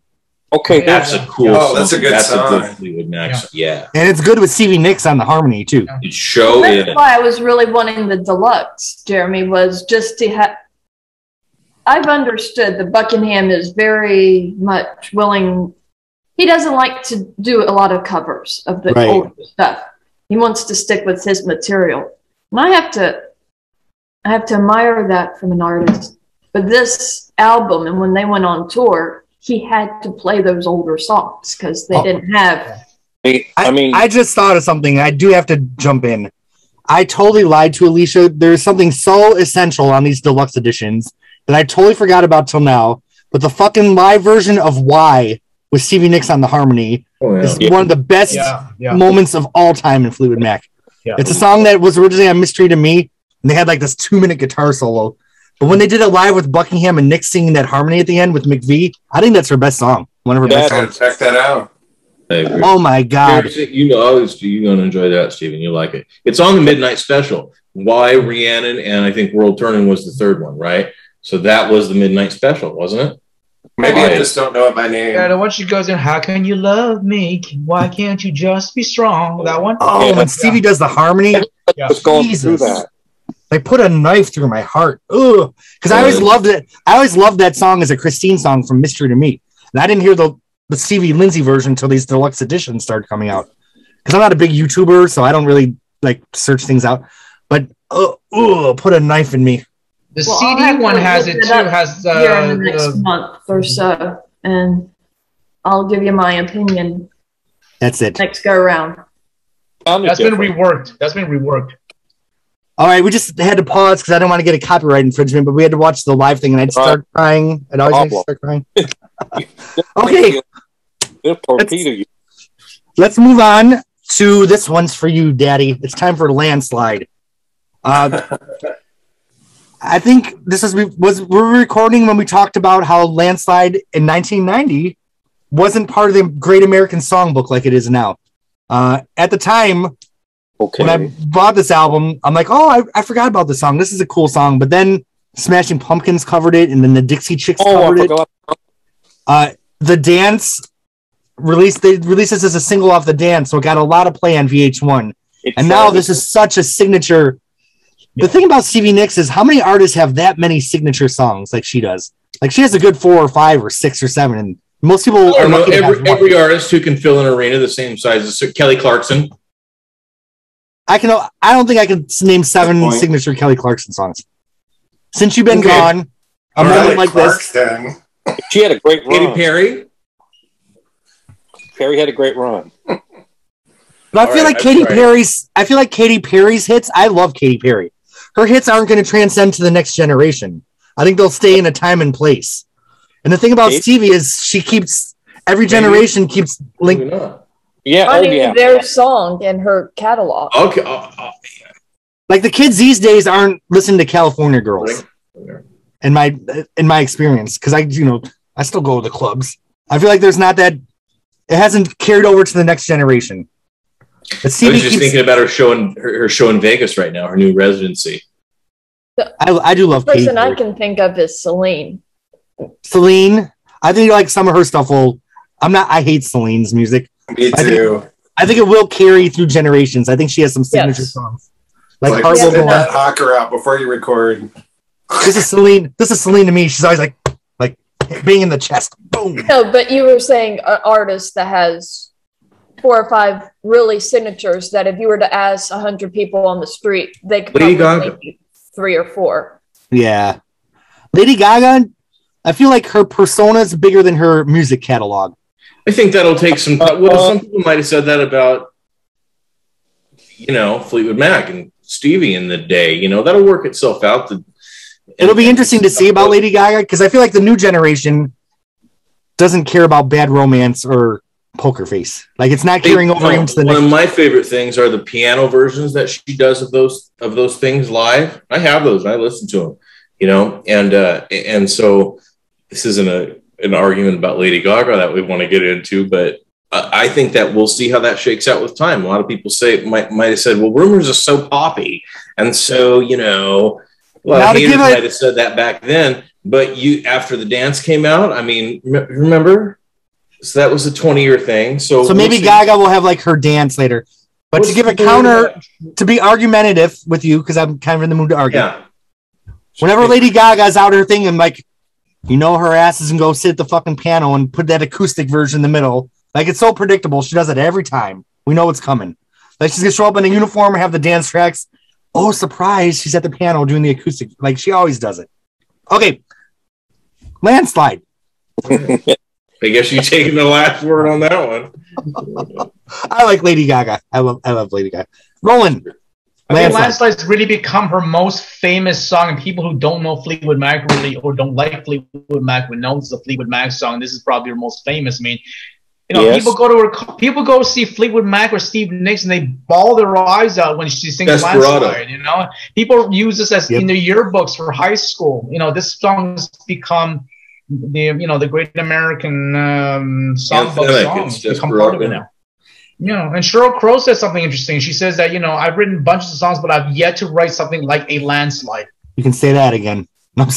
oh, I love Sheryl Crow. Hey, yeah. pictures. She hasn't written a landslide. even Sheryl Crow admits that you know she's not she's she for herself she has not read that peak yet, where she's done the song that a hundred years from now will still be played on whatever whatever format we have in hundred years. I don't know though. I love me some "Soak Up the Sun." I'm not gonna lie. You know, okay. Can I can I make an entry on? I'm sorry, Jeremy. I want to make an entry on landslide here, but you were saying something about no go uh, landslide. Stay on. T- keep put it back on topic. I'm a shitty host tonight. I keep uh, going off on these tangents. Landslide. Does anyone know the exact house in Aspen that that was written in? Oh, oh, you like to go to the houses. You like to find the houses. You know, I do. I like to. I want to know which house it was written in. And there's this one interesting. I know we've all seen all the most uh, commonplace uh, VH1 specials and stuff like that. But there is this one, and I I can't tell you what it's called, where they they take the footage of her saying it was written in blah blah blah and in this place in this house and they shoot and the b-roll footage that they shoot in this weird log house which isn't especially it's kind of dated looking and it's big and everything but it looks like it could plausibly be the house where it happened okay. i don't have any reason to think that it is the house but but anyway somebody knows where this house was and if it's not this tv extra special that i'm re- referring to that i can see in my mind then you know somebody else still knows so uh, isn't the legend that Stevie Lindsey had a job in Aspen and Stevie kind of yeah. followed him out there? Was it with yeah. the Everly brothers? Everly brothers, yeah. yeah. And the, everybody went to a party, and Stevie's like, "I'm just gonna stay at home, and I'm just gonna stay home and miss the party." And then didn't she write Rhiannon and Landslide both right the same night? At least Landslide. Yeah, we gotta. I, I, we must find this house. We must That's find a, this house. Yeah. Thank 50, you. Oh, there's a song right there. Could we all meet in Colorado and find the landslide house and then go to the Red Rocks Red thing Rocks. and wear big sunglasses walking in? and then we'll and then we'll shoot our own fake close-ups of ourselves afterwards. oh my god! Yeah. Please. Okay. Um. Roland's gonna reshoot his close-ups too. All right. To me, Landslide is such a deep song that you know how there's things that there's so much you can say for me, there's so much I could say about this. I almost have nothing to say. To be honest, I feel like the song speaks for itself. Yeah. I don't think there's anything I can say that's any deeper than the song. Landslide. Well, you have to love the solo in the middle of it, and sometimes it takes like five guitar players to make that thing happen live, right, Jim? Unless Lindsey's doing it, right? Unless Lindsey, right, Jim? Yeah. What do you guys uh, think of this album version? I think it's the least interesting version of Landslide. Really? Yeah, I prefer it live definitely. I think it comes to life. I, I like the live version and the studio both. Like I, I like the original because that's where it came from, but I think the live it's one of the cases where the live is just as good, maybe better. I love the version where she has her girls do a three part harmony with Lori and Sharon doing the harmony. I think it's beautiful. Jim. Yes, I like the one on David Letterman with Lindsey. That's a real good version. Great vibrato that night. which one, Dave Letterman? Which one? The David during Letterman. the dance promotion where she's got the red dress on. Oh, I never yeah. saw that. Oh yeah, brother. That's good. That's a great vocal. Yep. It's there was something very tender about the dance era. Like usually when bands reunite, it's kind of like a cash grab, but that to me that felt pretty real. I know we're gonna be talking yeah. about it. Yeah. There was a lot of, yeah, that was pretty real. Yeah, and they're still angsty, like twenty years after the twenty three years after the dance, twenty five years. Um, you guys Alicia, like the, have, the hip hop remix? Oh, I did have the I did have the landslide maxi single. I love that remix. That's great. it seemed like it would be good. Was it good? Yeah, it is. Cool. Yeah, I mean, it doesn't hold up, but it's yeah. great. Alicia, what are your thoughts on Landslide? Well, I mean, I know more of the studio version just because it was on the greatest yeah. hits records, and of course Stevie played it live. But her live version uh, from her albums, it's good. But I always preferred the uh, her and Lindsey performing it. There's Me something. Too. There's something there. That's um, magic. Yes. Um, and it's interesting, at least for me, hearing you guys talk, how this song wasn't a hit or a a perennial, a legendary song um, for many, many years. And it's, mm-hmm. I was almost wondering how, I say, how did it happen? I mean, it, organically, I mean, if they didn't release it as a single, was it just her performing it? But then well, I haven't seen it where okay. she did it live during the 70s or 80s. It was released as a single from the dance. So when it was released as a single from the dance, it got so a lot of airplay. Really... Yeah, but how did that come about? Just by word of mouth, just by people saying to other people. This oh, really it struck a chord. That what she got. That would singing about "I'm growing older too." Yeah, it struck a chord. Dance reunion. Yes, that's what made. That's that really made the song resonate. And then I'm the sorry. Dixie Chicks did their version a couple years after that, and it was a huge hit. So that's that's how the ball started getting rolling on that one. Okay. I do remember the Dixie Chicks recording it, but but Alicia, is what you were just getting at? Just how did that come about in the first place? Was it just people talking to other people to say like, "Have you heard of this song called Landslide?" type of a thing, and that's what kind of uh, dug it out of the grave? Well, it's one of those things oh, where yes, me asking that question is kind of a um Stevie's got a lot of good material. It's almost like she went back and fished this out and said, okay, let's do this. I believe in this song, and it's going to be. It's almost like they did it with the same thing with Silver Springs. It's like they fished. They did the exact out. same thing. Yeah. I think it was yeah. MTV. I think it's Fleetwood Mac's version of Desperado. Yeah, the VH1 special. It was definitely the VH1 special, I think it's interesting that they chose this. It's like how what made them why not crystal? I mean, what why sure. not you know, Good. what made them pull this out? You know, I've you know, what about um I'm thinking Tusk. Um Beautiful Child. Thank you. Yeah. I mean, why not that song? I mean, I'm not saying anything bad. It's just interesting of how did they choose this? How did because it's um, simple. I think it's just one of those right place, right time, right moment. Jim, did you have something? Yes, it's there's kind of a two pronged thing with this because it was a favorite. You know, there was a live version on their live album that that like after Tusk they did that live album. It's on there. It's in such a weird key on that live album. It, oh, that's the best. And she's whispering the words too. It had an underground fan. The fans the you know the concert goers and people have the records. Um, they they I mean it was one of their favorites and it was underground, but it I think that when the Smashing Pumpkins brought it to a different audience, that kind of in the Dixie Chicks, and then the stance. It kind of it built it up, but in Stevie herself doing shows with it as a solo and with Fleetwood Mac, and that's you know it's very powerful, especially when she's getting older and older and older, and and it's you know what I think Stevie had to age into the song. I think her yeah, singing as an older woman. Yeah, that's what I was trying to say. Yeah, yeah. good. That's what made it so salient at that time. Absolutely. Like I think it meant diff- something different coming from her as a 30 year old as it did uh, a, in a 50 year old, and it really resonated yeah. with people. So kind of like both sides now for Joni. Yes. Yep. Yep. I love that older version of both sides now. And then a little more obscure, but uh, Marianne Faithfull's older version of As Tears Go By that she did on her Strange Weather album is just beautiful. Revisiting that old song of hers. All right. Well, any thought, Jim? Uh, even South Park used it. So oh. it's part on. I have another thought, Jim. Nathan. Me? Yeah. I did do anything.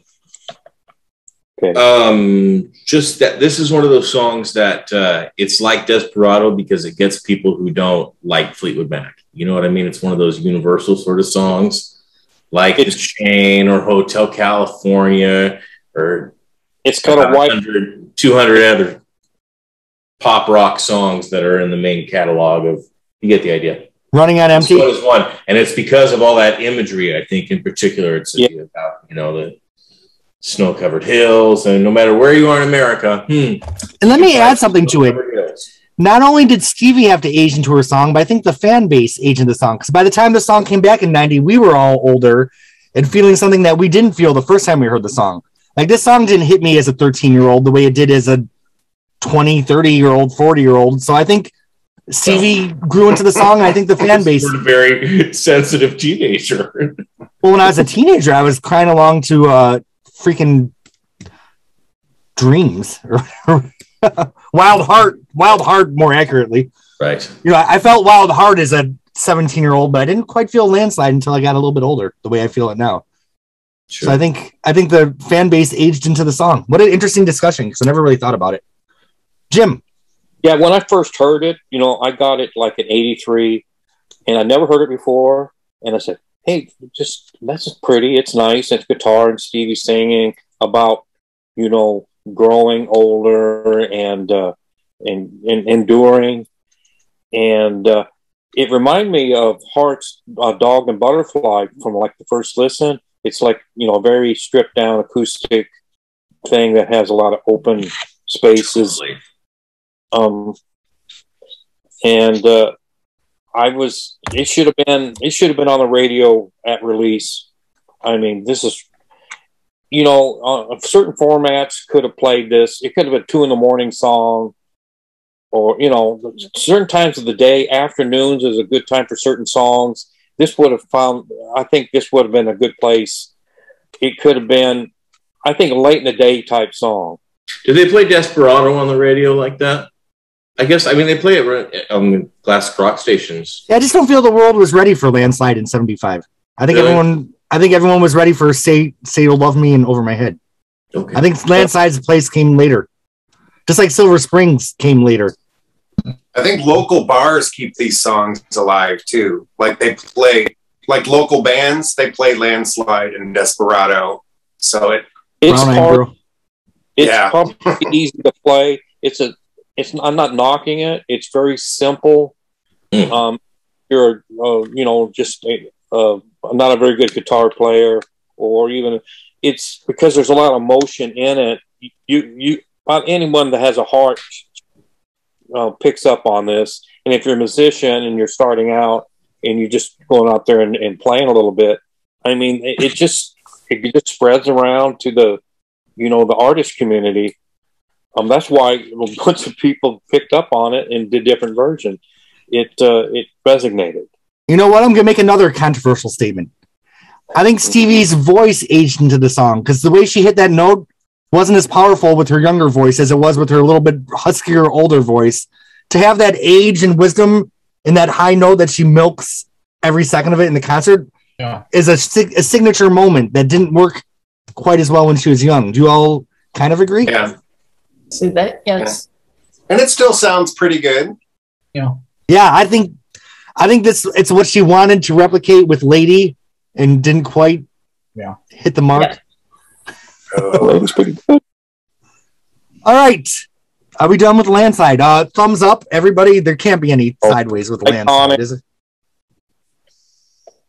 Oh, you had me worried, Nathan. I would have just hit leave meeting if anyone gave landslide a sideways. Okay, up next. We hear the guitar fading in. Lindsey comes in. Christine comes in sounding like Lindsey. You kind of can't tell that they're different people unless you really listen. Secondhand news. Everybody's trying to say I'm wrong. I just want to be back where I belong. World Turning, when the first appearance of Buckingham McVie Go away. many years later would record an album together. Um, this is a little bit more of this. This album's full of really tight radio songs. This is the first time when it kind of spreads out and gets a little jammier. So, but uh, Jim, Uh, well, let's continue. Uh, I was I was going to ask after this. I'd like to switch. Uh, we we can uh, cut it for a bit. I got to reboot with my phone instead of my iPad. My iPad's about dead.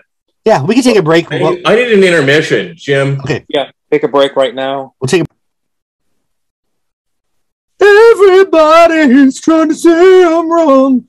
Christy McVie and Lindsey Buckingham. World Turning. They're jamming. Uh, is this the only song they've ever written together until Buckingham McVie? Uh, yeah. So it's a rare collaboration. Um, like we were saying earlier, the song's a little bit more jammy than the rest of the album, but I think it's the perfect follow up to Landslide. I always love this song. It's a, it's it, it cooks. It's a cooker. I don't know. What do y'all think of this one? Right. If that late seventies era live, it was it's smoking. Lindsey playing that real high, loud guitar on it live. Shoot, that's just Wasn't there a song on Buckingham Nicks that kind of sounded kind of like World Turning? Like did, Lola? What's the world coming to? I mean, they're related in terms of the title, but they're not really different. What? What other song? Is there one that has the same chord progression? I think this song rocks. No, to Jim's point, Jim, I agree. This song rocks hardcore. yes, it's Yes. great. Yes. It's funny, it like that guitar echo on the arena, whatever place they are. That's that's some great stuff. There's a there's a Haim a Haim video where uh, what's it Danielle? She's playing and there's really no one there, and there's some kind of a guitar echo. She's a great player, and and it's kind of like uh, World Turning where she plays a good solo at the end. And when- Danielle? Who? when the Danielle Danielle. Hi, Haim? they're, they're oh, yeah, yeah. All the Haim ladies. Yeah. Okay. Okay.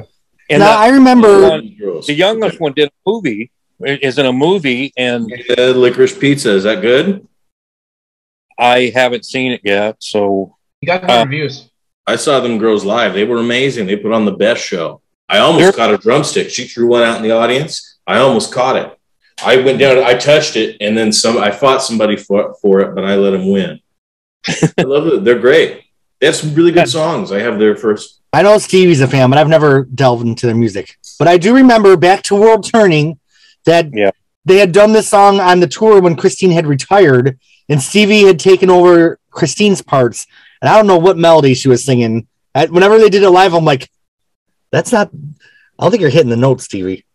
I don't- Yeah, she was doing something a little bit different than. you can only say it once. Th- this song works great live, except for when Mick Fleetwood does his drumming. Oh, with the drumming for like Mick- 20 No, minutes. no, no, you know, that, no. that's, I mean, I don't go for beer or go to the bathroom during a concert, but I would during this. Someone keep the electronic chest drum pad away from Mick Fleetwood. You know, it is interesting for five minutes, but not for 20 minutes. Well, that's And what not like four that's not tours how long it takes to go to the bathroom and get a beer. So no one says Yeah, thank yeah. you or anything. You know, everybody just. Mhm. I don't like it either. Does anybody in the world like it besides Mick Fleetwood? No. Like any is there anybody out there that's like, God, I can't wait till Mick's pounding his chest with the electronic. Yeah, that's why I paid my hundred dollar, hundred and fifty dollar ticket to see. All of That's it. I just leave right after that. But I'll pay an extra hundred dollars to take that out of the set. Like I would. I'd here, make, take it. Here, put put some money towards the chowder at Fleetwood's restaurant. Keep keep the drums solo out of Yeah, World. Turning. That, I'll eat a second bowl of chowder. Second ten dollar bowl of chowder. Yeah. at Fleetwood's. okay. Um, Would think, you rather go to Fleetwood's though? And this is a question I really have for everybody. Would you rather go to Fleetwood's and pay for a fifty dollar bowl of chowder, or would you rather go to that restaurant that Stevie and Sharon met at, the Blue Loon or whatever that place is called, Oh, the blue or Max. the Mexican Blue or the Mexican restaurant. Which is Carmen's, which is Carmen's in L.A. And I know we have people in L.A. here, Doctor Lerner. And so, has anybody ever been to Carmen's in L.A.? Was that the I Mexican restaurant by where they met? That's the one.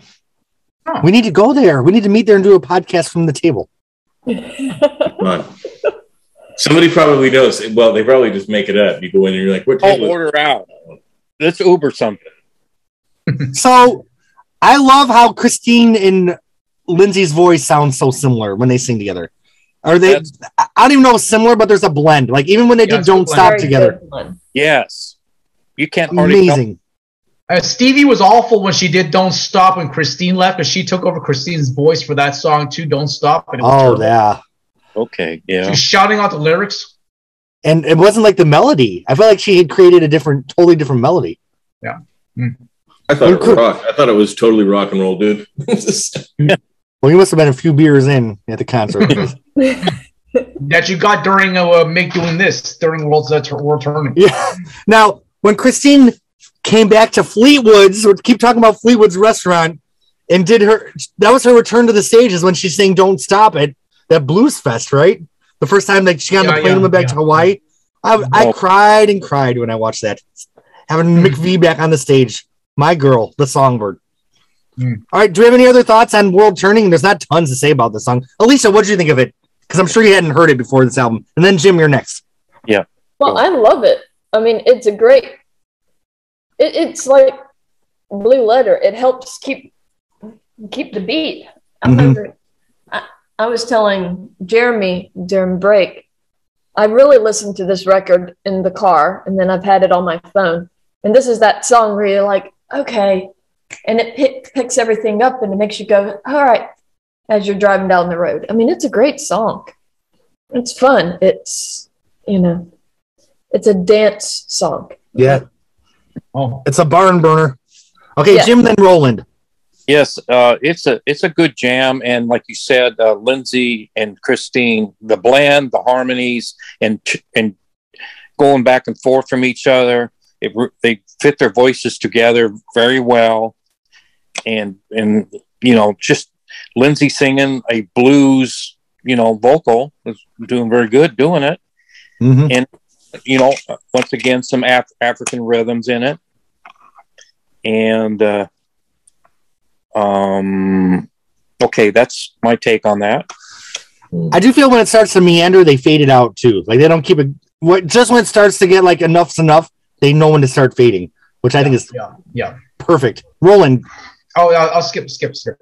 to skip. Do we have any other thoughts on World Turning? All right, thumbs up, down, or medium. I'm giving a thumbs up. Mm, Oh, I mean, oh. not my favorite. Not my favorite. Not my because I keep Yeah, thinking I'm of Mick doing this for 20 minutes. What's your beef, dude? What is your But beef? take away the Mick drum solo. How about the album? We're doing the album version. The album The version, album's thumbs up. fine at, at, at under five minutes. Yes. Okay, what's worse? The Rhiannon don't go, Rhiannon stay, or Mick's drum solo, world turning. So, I guess a solo because it's 20 minutes long. With the electronic stuff, Yeah. help me. that's so ampy. God. Help me. Help me. Okay, I'm speaking to the phonogenics audience that's watching this. If there's anybody out there that actually enjoys Mick's drum solo on world turning, please leave a comment because we want to know if you're out there. Make sure you post it on the ledge on the Fleetwood Mac side. Yeah, who uh is there? Well, I'll say this after the podcast. Okay, so yeah. moving on, we have two songs left.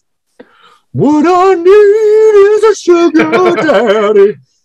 Christine, you hear a car? You hear who's on the guitar in this song? You guys? Car horn. You hear a car horn, but who's playing white. Sugar Daddy? Waddy. Waddy Wachtel. Yeah, Waddy. Waddy. Making his first appearance and only appearance on a Fleetwood Mac album, right? Huh. Yeah. Yeah. He was, I don't know. Waddy got his, his bucket list. Waddy's bucket list. Be on the Poseidon Adventure and playing Fleetwood Mac. That's pretty good stuff. Great movie. he was the Poseidon Adventure. Crazy stuff. Now I feel like Sugar Daddy's probably the weakest of the Christine McVie songs, but I still love it. I think it's just fun. I think it's a nice blues number. Uh, she's not looking for love. Ask, she's not asking for love. She just wants a little sympathy and money, apparently. money. Because I guess John's, I guess John's not paying. He's not buying her he's the not providing. John's not providing. John's not providing. She needs a sugar daddy. But when it comes I never to love, liked this. I never liked this song. I always thought, Christine, get a job. Stop relying on sugar daddy. Get a job. okay, so Roland's uh, not on board for sugar daddy. Any other thoughts? Sugar daddy. I think it's just fun. Oh, thumbs down. Oh my yeah. goodness. Nathan, sugar daddy. Great song. Great song. All right, we're gonna do Jim then Alicia okay, it's a another bouncy track, and the, and the car horn a couple times is kind of cool. Um, it's, it's bluesy, of course, and it has an Americana flair to it. I think in the words and the playing, show does. Do you know what else I fucking love? The fade out. I'm not asking for love. Where it has them all. how's, the, how's the chorus go? Will you sing that for me? Well, when it comes to love, he better leave me alone. I don't oh. remember the song. No. like, it's yeah. forgettable for, for Steven. it definitely is filler, but I, I still love it. Well, it's got charm. It's it's a lot. When I get a little hungry, and when I need some whiskey, it serves it to me neat. Because that rhymes with eat. If someone will buy it for me. oh, I think it's the weakest song in the record. You know what? I don't think Christy McVie ever wanted just a little whiskey. You know what I mean? Like what a lot of whiskey. the fact that she says she ever needs a little whiskey, like we already know she's lying. I don't think there's ever such thing as a little whiskey for McVie back in '75. okay, does anyone like this song besides me? I love it. I like Maybe it. okay. Jim. It's me. Absolutely. Yeah, like Jim. I this week I've been playing it and I like it more than ever. I love it. Really? Okay, Elisa, Sugar Daddy. I think it's a fun song. It's, I mean, it's one of those. I, I think maybe it's the weakest song on the record, right there with "Over My Head." But I mean, I mean, it's fun. It's not. Ooh, oh wow! And when I heard it here the last time or two, the way that Christine does her words makes me think of Cher somewhat. Just her okay. pronunciation, pronunciations uh. and everything. It, yeah. it, made me recall like how Cher sings. I had a friend once say, "Would the world explode if there was a, a three part harmony between Cher, Christine McVie, and Michael McDonald?" Can you imagine? oh my! Wow! I think, I the world would explode. no, I'm just. oh gosh! How interesting. probably there would be a disaster of work for me. Everything would just forget Y2K. Forget Y2K to end the world. It'd be McDonald, McVie, and Cher did it. Three part harmony. Okay, so Sugar Daddy, thumbs up, medium, or down? I'm giving it thumbs up. Thumbs up. It's it's yeah, it's fun. You have to have it because it, it fills out the the the whole of the album. You know, yep. it, it, fills out the runtime. And you're dancing. No, it's it's like you're hanging out on your. It's groovy. It's got a groovy. Five more minutes. It's Harbor. Yeah, it's it's a good song. It's a fun song. So did anyone else hear hear the early mix of "Over My Head" with the original McVie piano? Has anyone heard it besides me? No, but I'm actually super curious since you said that because I love. It sounds like it's very cool. Okay. It sounds a lot better than the very airy fairy version. Um, yeah, so we paused it and did take a quick listen to the early take of Over My Head that has the original McVie piano because I feel like she writes her songs on the piano, and that's probably how she actually wrote the song before Lindsey took out the piano part. So it felt much more authentically McVie in the way that it just makes me love her so much. So I had to share it. Okay, we have one song left. Now, everyone here is probably going to disagree with me, but to me, just as excruciating as the 10 minute Mick Fleetwood drum solo as the 10 minute Lindsey Buckingham I'm so afraid guitar solo. like, ugh. No. Like we know, Lindsey, like you're gonna act weird and crazy. Okay. I'm so afraid. Uh, very haunting, dark song. I feel like yep. Stevie Nicks' harmonies on this are exquisitely witchy and beautiful. On the, this is one of the ones that I like the yeah, album yeah. version better. I know people go crazy for the live version, but I'm gonna go against the grain and say I like the album version better. There's just something okay. about it that is just so haunting and not as wacky. I don't know, but let's have not as what? Not as what? It just got kind of wacky in the light. Like, oh, I'm being I'm being so wacky and playing a crazy guitar solo and acting manic on Milking stage. it all for what it's worth. Yeah. Like I feel the song as a subtle, dark piece of work speaks for itself, and you don't need those like over the top theatrics for me. Yeah. And I'm probably get slaughtered in the comments. So someone else give a conflicting opinion. No, I agree with you because it's under five minutes, and I'm happy with that. Yeah, it's just haunting. It's oh, Mick Fleetwood's drums. Something about Mick Fleetwood's drums, the way they're recorded, just has a really heavy tom that I think is just so awesome on this album version. I love this album version. Yeah. Is there anyone here that loves the live version with Lindsey's? Okay, Steven. Yeah, so t- it's all about the live version, I think. Really? This is the song where you like take a moment during the concert to like take in the experience around you. Okay. You know, you're not trying to, you know, count Stevie's eyelashes. You're just enjoying the atmosphere. That for me. Okay. Jim, what are your thoughts on the um it's a it's a very dark, excellent closer, and Lindsey just kills it all the way through. Um, God, I this, trip and I fall and I die. This, like, that's dark as fuck. The, the, way this it was written in that uh, I call it the desperate era of Buckingham Nicks when there were uh, Polydor cut him loose. It was probably written right after that because they didn't know what was going to happen. And Stevie wrote probably a good half dozen iconic songs. Right, that's that's probably probably her best material group of her entire career when she yeah. was away Yes. I mean, and Lindsey wrote this, and it had that same sort of, you know, it's sort of desperate, and uh, uh, what's what's the future hold? Lindsey couldn't. Stevie said he's hopeless and helpless without a guitar in his hand and and noodling around the studio. I mean, that's what he is. Has anyone ever found that coffee plant? I've, I've, seen a picture of it. I've seen a picture of it. Have you seen a picture of it, Roland? Yes. You should. I, I, know the address. Somebody oh, somebody the, told me. Oh, the yeah. coffee. Okay. Yeah. Oh, that's where they recorded these demos. Was in the coffee plant. Right? Yeah. Yeah. yeah it's, it's, it's, it's, it's a factory, but it's not selling coffee. It's a, it's a, it's, it's still around. I have, I know where it is. Wow. But you live up there, Roland. Not now. I don't know, but I somebody oh. told me where it is and showed me a picture. Yeah. So, Alicia, had you ever heard the song before you took in this album?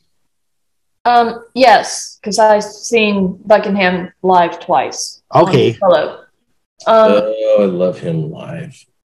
Yeah, it's interesting that this was the last song. I mean, it so I will confess, when I first picked up Fleetwood Mac in 07 and played their greatest hits for like all of a month before I did my right turn to Stevie Land, I will admit at 19, I did not appreciate Buckingham. Okay. Um, he does a lot more. He's willing not to do the big solos and do all the grandiose thing that your solo guitarists typically do. Um, this is that one song on this record where he really seems to say, okay, I'm going to do that three minute solo and we're going to, you know, indulge. And I find that 19 year old me would have loved this song. Um, it took me years to understand that there is something about the lead guitarist saying, okay, I'm going to create a well crafted song and I don't have to have my, my guitar, you know, it, it could be everybody else, the piano, the this, the that, um, to help the song. But um, listening to this, really start realizing how good of a guitarist. Yes. and you realize, okay, why is he always at the bottom of the 100 greatest guitarists sort of things? Like, um, it yeah, my snarky comments aside, I do have to say it. He's an fucking amazing, one of the best guitarists of all time. So I think yeah, he's one of the best. Yeah, he's, he's above twenty. Lindsey's above twenty, uh, in my opinion. Yeah, it, it it's as I've gotten older, I've appreciated his philosophy of how he works the songs and and performs. So that's not something when you're 18 you want that every song has that three minute solo. Um, and he and he picks with his friggin' hands. Yes and it's a unique sound. It's a unique sound coming off the fingers. And not to beat a dead like, horse, but I feel like the public started to really realize what great guitarist yeah. Lindsey was when the dance came out because he did the acoustic Big Love, and everyone's like, "Oh, we didn't realize he could do this." So I feel like that's when people started to recognize him as a guitarist more so than before. So, um, this is a real. It, it's interesting how they put this at the end. Um, it, it's the big epic song, kind of like Crystal is a slow. This seems to be kind of more of a rocker. Right. Um, this it, is the dirt. yeah. But um, um, when I first saw so afraid on you know video, uh, I was seeing Lindsey picking with his fingers and that sound coming out. I just, my God, I never right. seen anything at my life. Yep geez, that's just this guy is picking with these fingers on, you know. And I knew that all of that, you know, over time, you know, the stuff from, you know, what he's done and, and that sound, he, you know, what what guitar player he is, and then you see him live or clip, and man, that was wow. He is.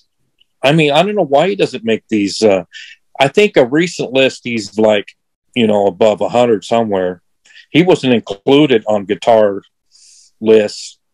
You know, not you know, some of them he's left off. Um, I think people are, I don't know, they're they look at guitar, guitar players in a different way. You know, critics. I don't know. Right. He's underappreciated. Totally. That's a brand. What about his new album? Do you like that one, Jim? I haven't heard it. Is it good? what? It's a good one. It's a lot I thought fun. it had its moments. I thought it had its moments. Okay, um, I might check that out. Uh, I think I, I'm kind of boycotting everybody because they're fighting and said, "Why don't you guys go with Christine, Stevie, and Lindsay and make a Fleetwood Mac album?" But that's I think that's ship has sailed. Um, so you should boycott everyone. I agree with that. That's a good idea. I'm with you. There was some except John McVie. He's an innocent bystander. Except John. Get, I mean, Christine's come back and just put things aside and write two or three good songs each one and go. The next album is going to be John McVie, Sharon Celani, and uh, Brett Tuggle. And Brett Tuggle. and it's called The Sheryl Crow. And Lola, who's the one that was in John McVie's Got a Band? Lola. Oh, Lola Thomas. Yeah, Lola Thomas is gonna be in, and Bekka got, Bramlett. John McVie's Got a Band. Bekka Bramlett was she the one on time? No, no, it's Bekka Bramlett. Yeah. All right. So I'm so afraid. I give it a thumbs up. Definitely. Oh, yeah, that's a great song. Great, great uh, studio a version. Rocking good one in um, concert. That's a good rocking one in concert. You have to have that it's like go your own way. You've got to have that in the. And set. I will say, and then Jim, you'll be next. That I'm just not a big fan of guitar solos. Period. So it's nothing against Lindsey. It's just a personal okay. preference. So, uh, go ahead, Jim. yeah, can you think of any other like Skynyrd or someone else that would do a, a long extended? Tom Petty and you know Mike Campbell would run stuff like this too, but who up in, oh I I I noticed listening to it recently. There's a lot of Peter Green there.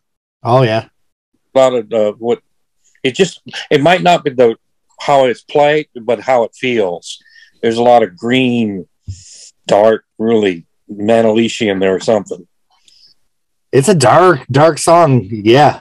I mean, they were like, God, Polydor kicks them out and they don't know what they're doing. And Stevie writes great stuff and, and Lindsey writes this. I think he was working on secondhand news and, and some of the rumor stuff in that period too. Going Your Own Way with might have been. No, that was probably when. See, I feel like that came a little bit later. Yeah, that came, but I think him uh, and Stevie were still getting along gish at this point. Yeah, but you know, you don't know what's kind of a little bit of a, a lick and is kind of put on the shelf. And yeah, right. the germ of ideas. They're always like like that Stevie with uh, uh, uh, Dave Stewart, and they couldn't find that lick he made where you were just freewheeling it. And mm. Stevie, that's the solo. that was kind of fun. Yeah, I remember that. And, and you know they they they kind of mentally put a you know a, a lick on a shelf and say, "Hey, this one I'm going to look at that one again." And there could have been stuff that you know is, is sitting around, and it's smart to record everything you do. I think every guitarist has to be doing that. If they pick it up, it's got to be, you know, you might play the best thing, and if it's not recorded, you it's gone. All right, so time to end the episode by our usual. We're going to rank the album on a scale of one to ten. Okay, boy, this is a. And you know what? I'm gonna usually I do it last, but I'm gonna start this time. I'm gonna give it a ten. I think it's perfect from beginning to end. They had one. They have ones that are maybe more popular, but I I feel like this the sterling level of Fleetwood Mac greatness. I'm there for the Sugar Daddy. I'm, there yeah. for uh I'm there for Warm Ways. I'm there for it all. Okay, Nathan, you give it a 10? No, I'm going to give it a 9. A 9? Yeah. All right. Jim, what do you give it? Uh, 9.8. 9.8. Steven? I, I don't even know how to rate this album, to be honest. Well, like, uh, like, is it, I don't know. I guess I'll give it an 8. Eight. Yeah.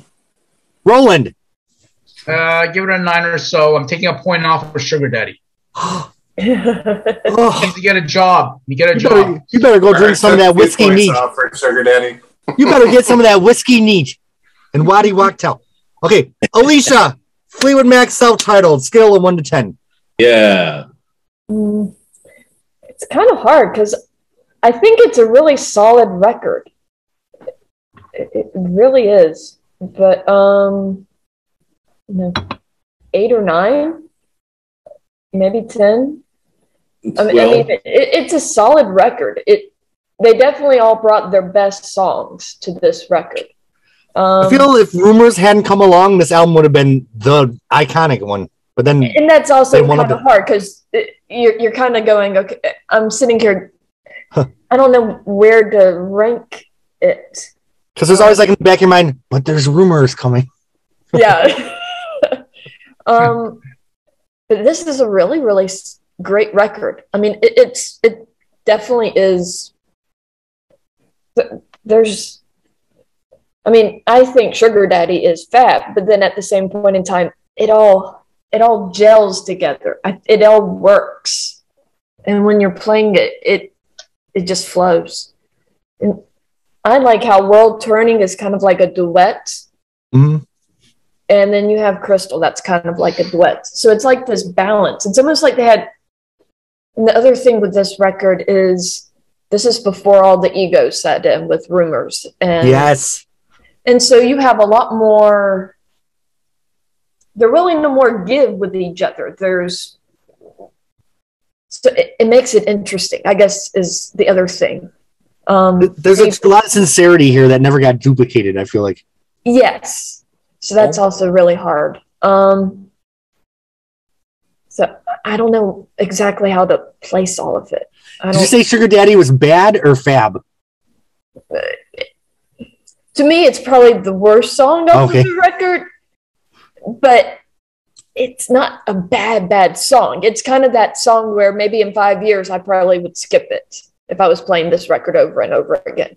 To me, it's it's a good song, but it, it's the filler song off the record. Right. That makes any do sense. You guys still play this record? Yeah, I do. I okay. like Sugar Daddy. Because Sugar Daddy reminds me of like a. It's been all these songs have been on greatest hits, live compilations and stuff, and that's how I know the material. I don't really know this collection of songs as an album. See, I love that's it as a body of work. For me to rate it. No, I play Tusk. I, I think I've listened to this album all the way through maybe three times, but I've heard all the songs. Like in different. You'll have to listen to this if you want to hear Crystal, because I don't think Crystal is anywhere else. Is that true? Is that correct? I haven't heard it on any of the greatest hits. Pull up the MP3 though. You don't have to go to the album anymore. Okay. So I missed that experience. Yeah. Like I didn't discover this as an album really. Like. And I do feel like the ride of this as an album is such a perfect flow of everything, like hundred percent. Sugar Daddy included. Thank you very much. Yes, it, and that's what makes that song work. Um, damn, this is the album that brought us Landslide and Rhiannon.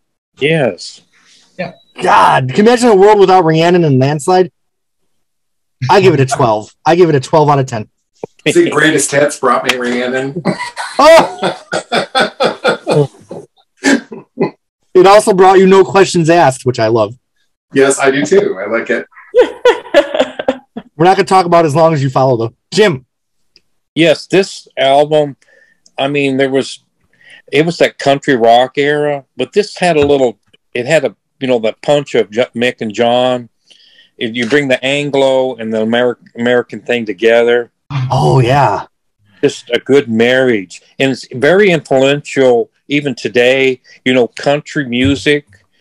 Uh, a lot of country music is like this. You know, in some ways, alternative music has a lot of these things in it the way things are sung and written and played and produced this is a it's i mean if if if fleetwood if this didn't happen i mean the beat music would be really different yeah i mean there there'd just be it you know what would be the slant on what's if, if this didn't happen and the Rumours was another damn thing So thank you, Fleetwood Mac, for making the album, Fleetwood Mac. You changed our lives. Thank you, Fleetwood Mac. Thank you. all right. I'm going to pause it and we can still talk for a second. But thank you to all the viewers. Uh, isn't it great to have the Fleetwood Mac panel back? We're going to be here. It is. It is. It is. Moving forward through the discography. Thank you to everyone that subscribes to my Patreon. Just so everyone knows where their money went this month, I released deluxe editions of my last two albums. So thank you for supporting that it felt so good to reclaim my last two albums and put them out the way I wanted them. Uh, and then thanks to all the YouTube subscribers and to my friends for loving Fleetwood Mac, even though you put down Sugar Daddy. Whatever. All right. Till next time when we tackle Rumours. Bye.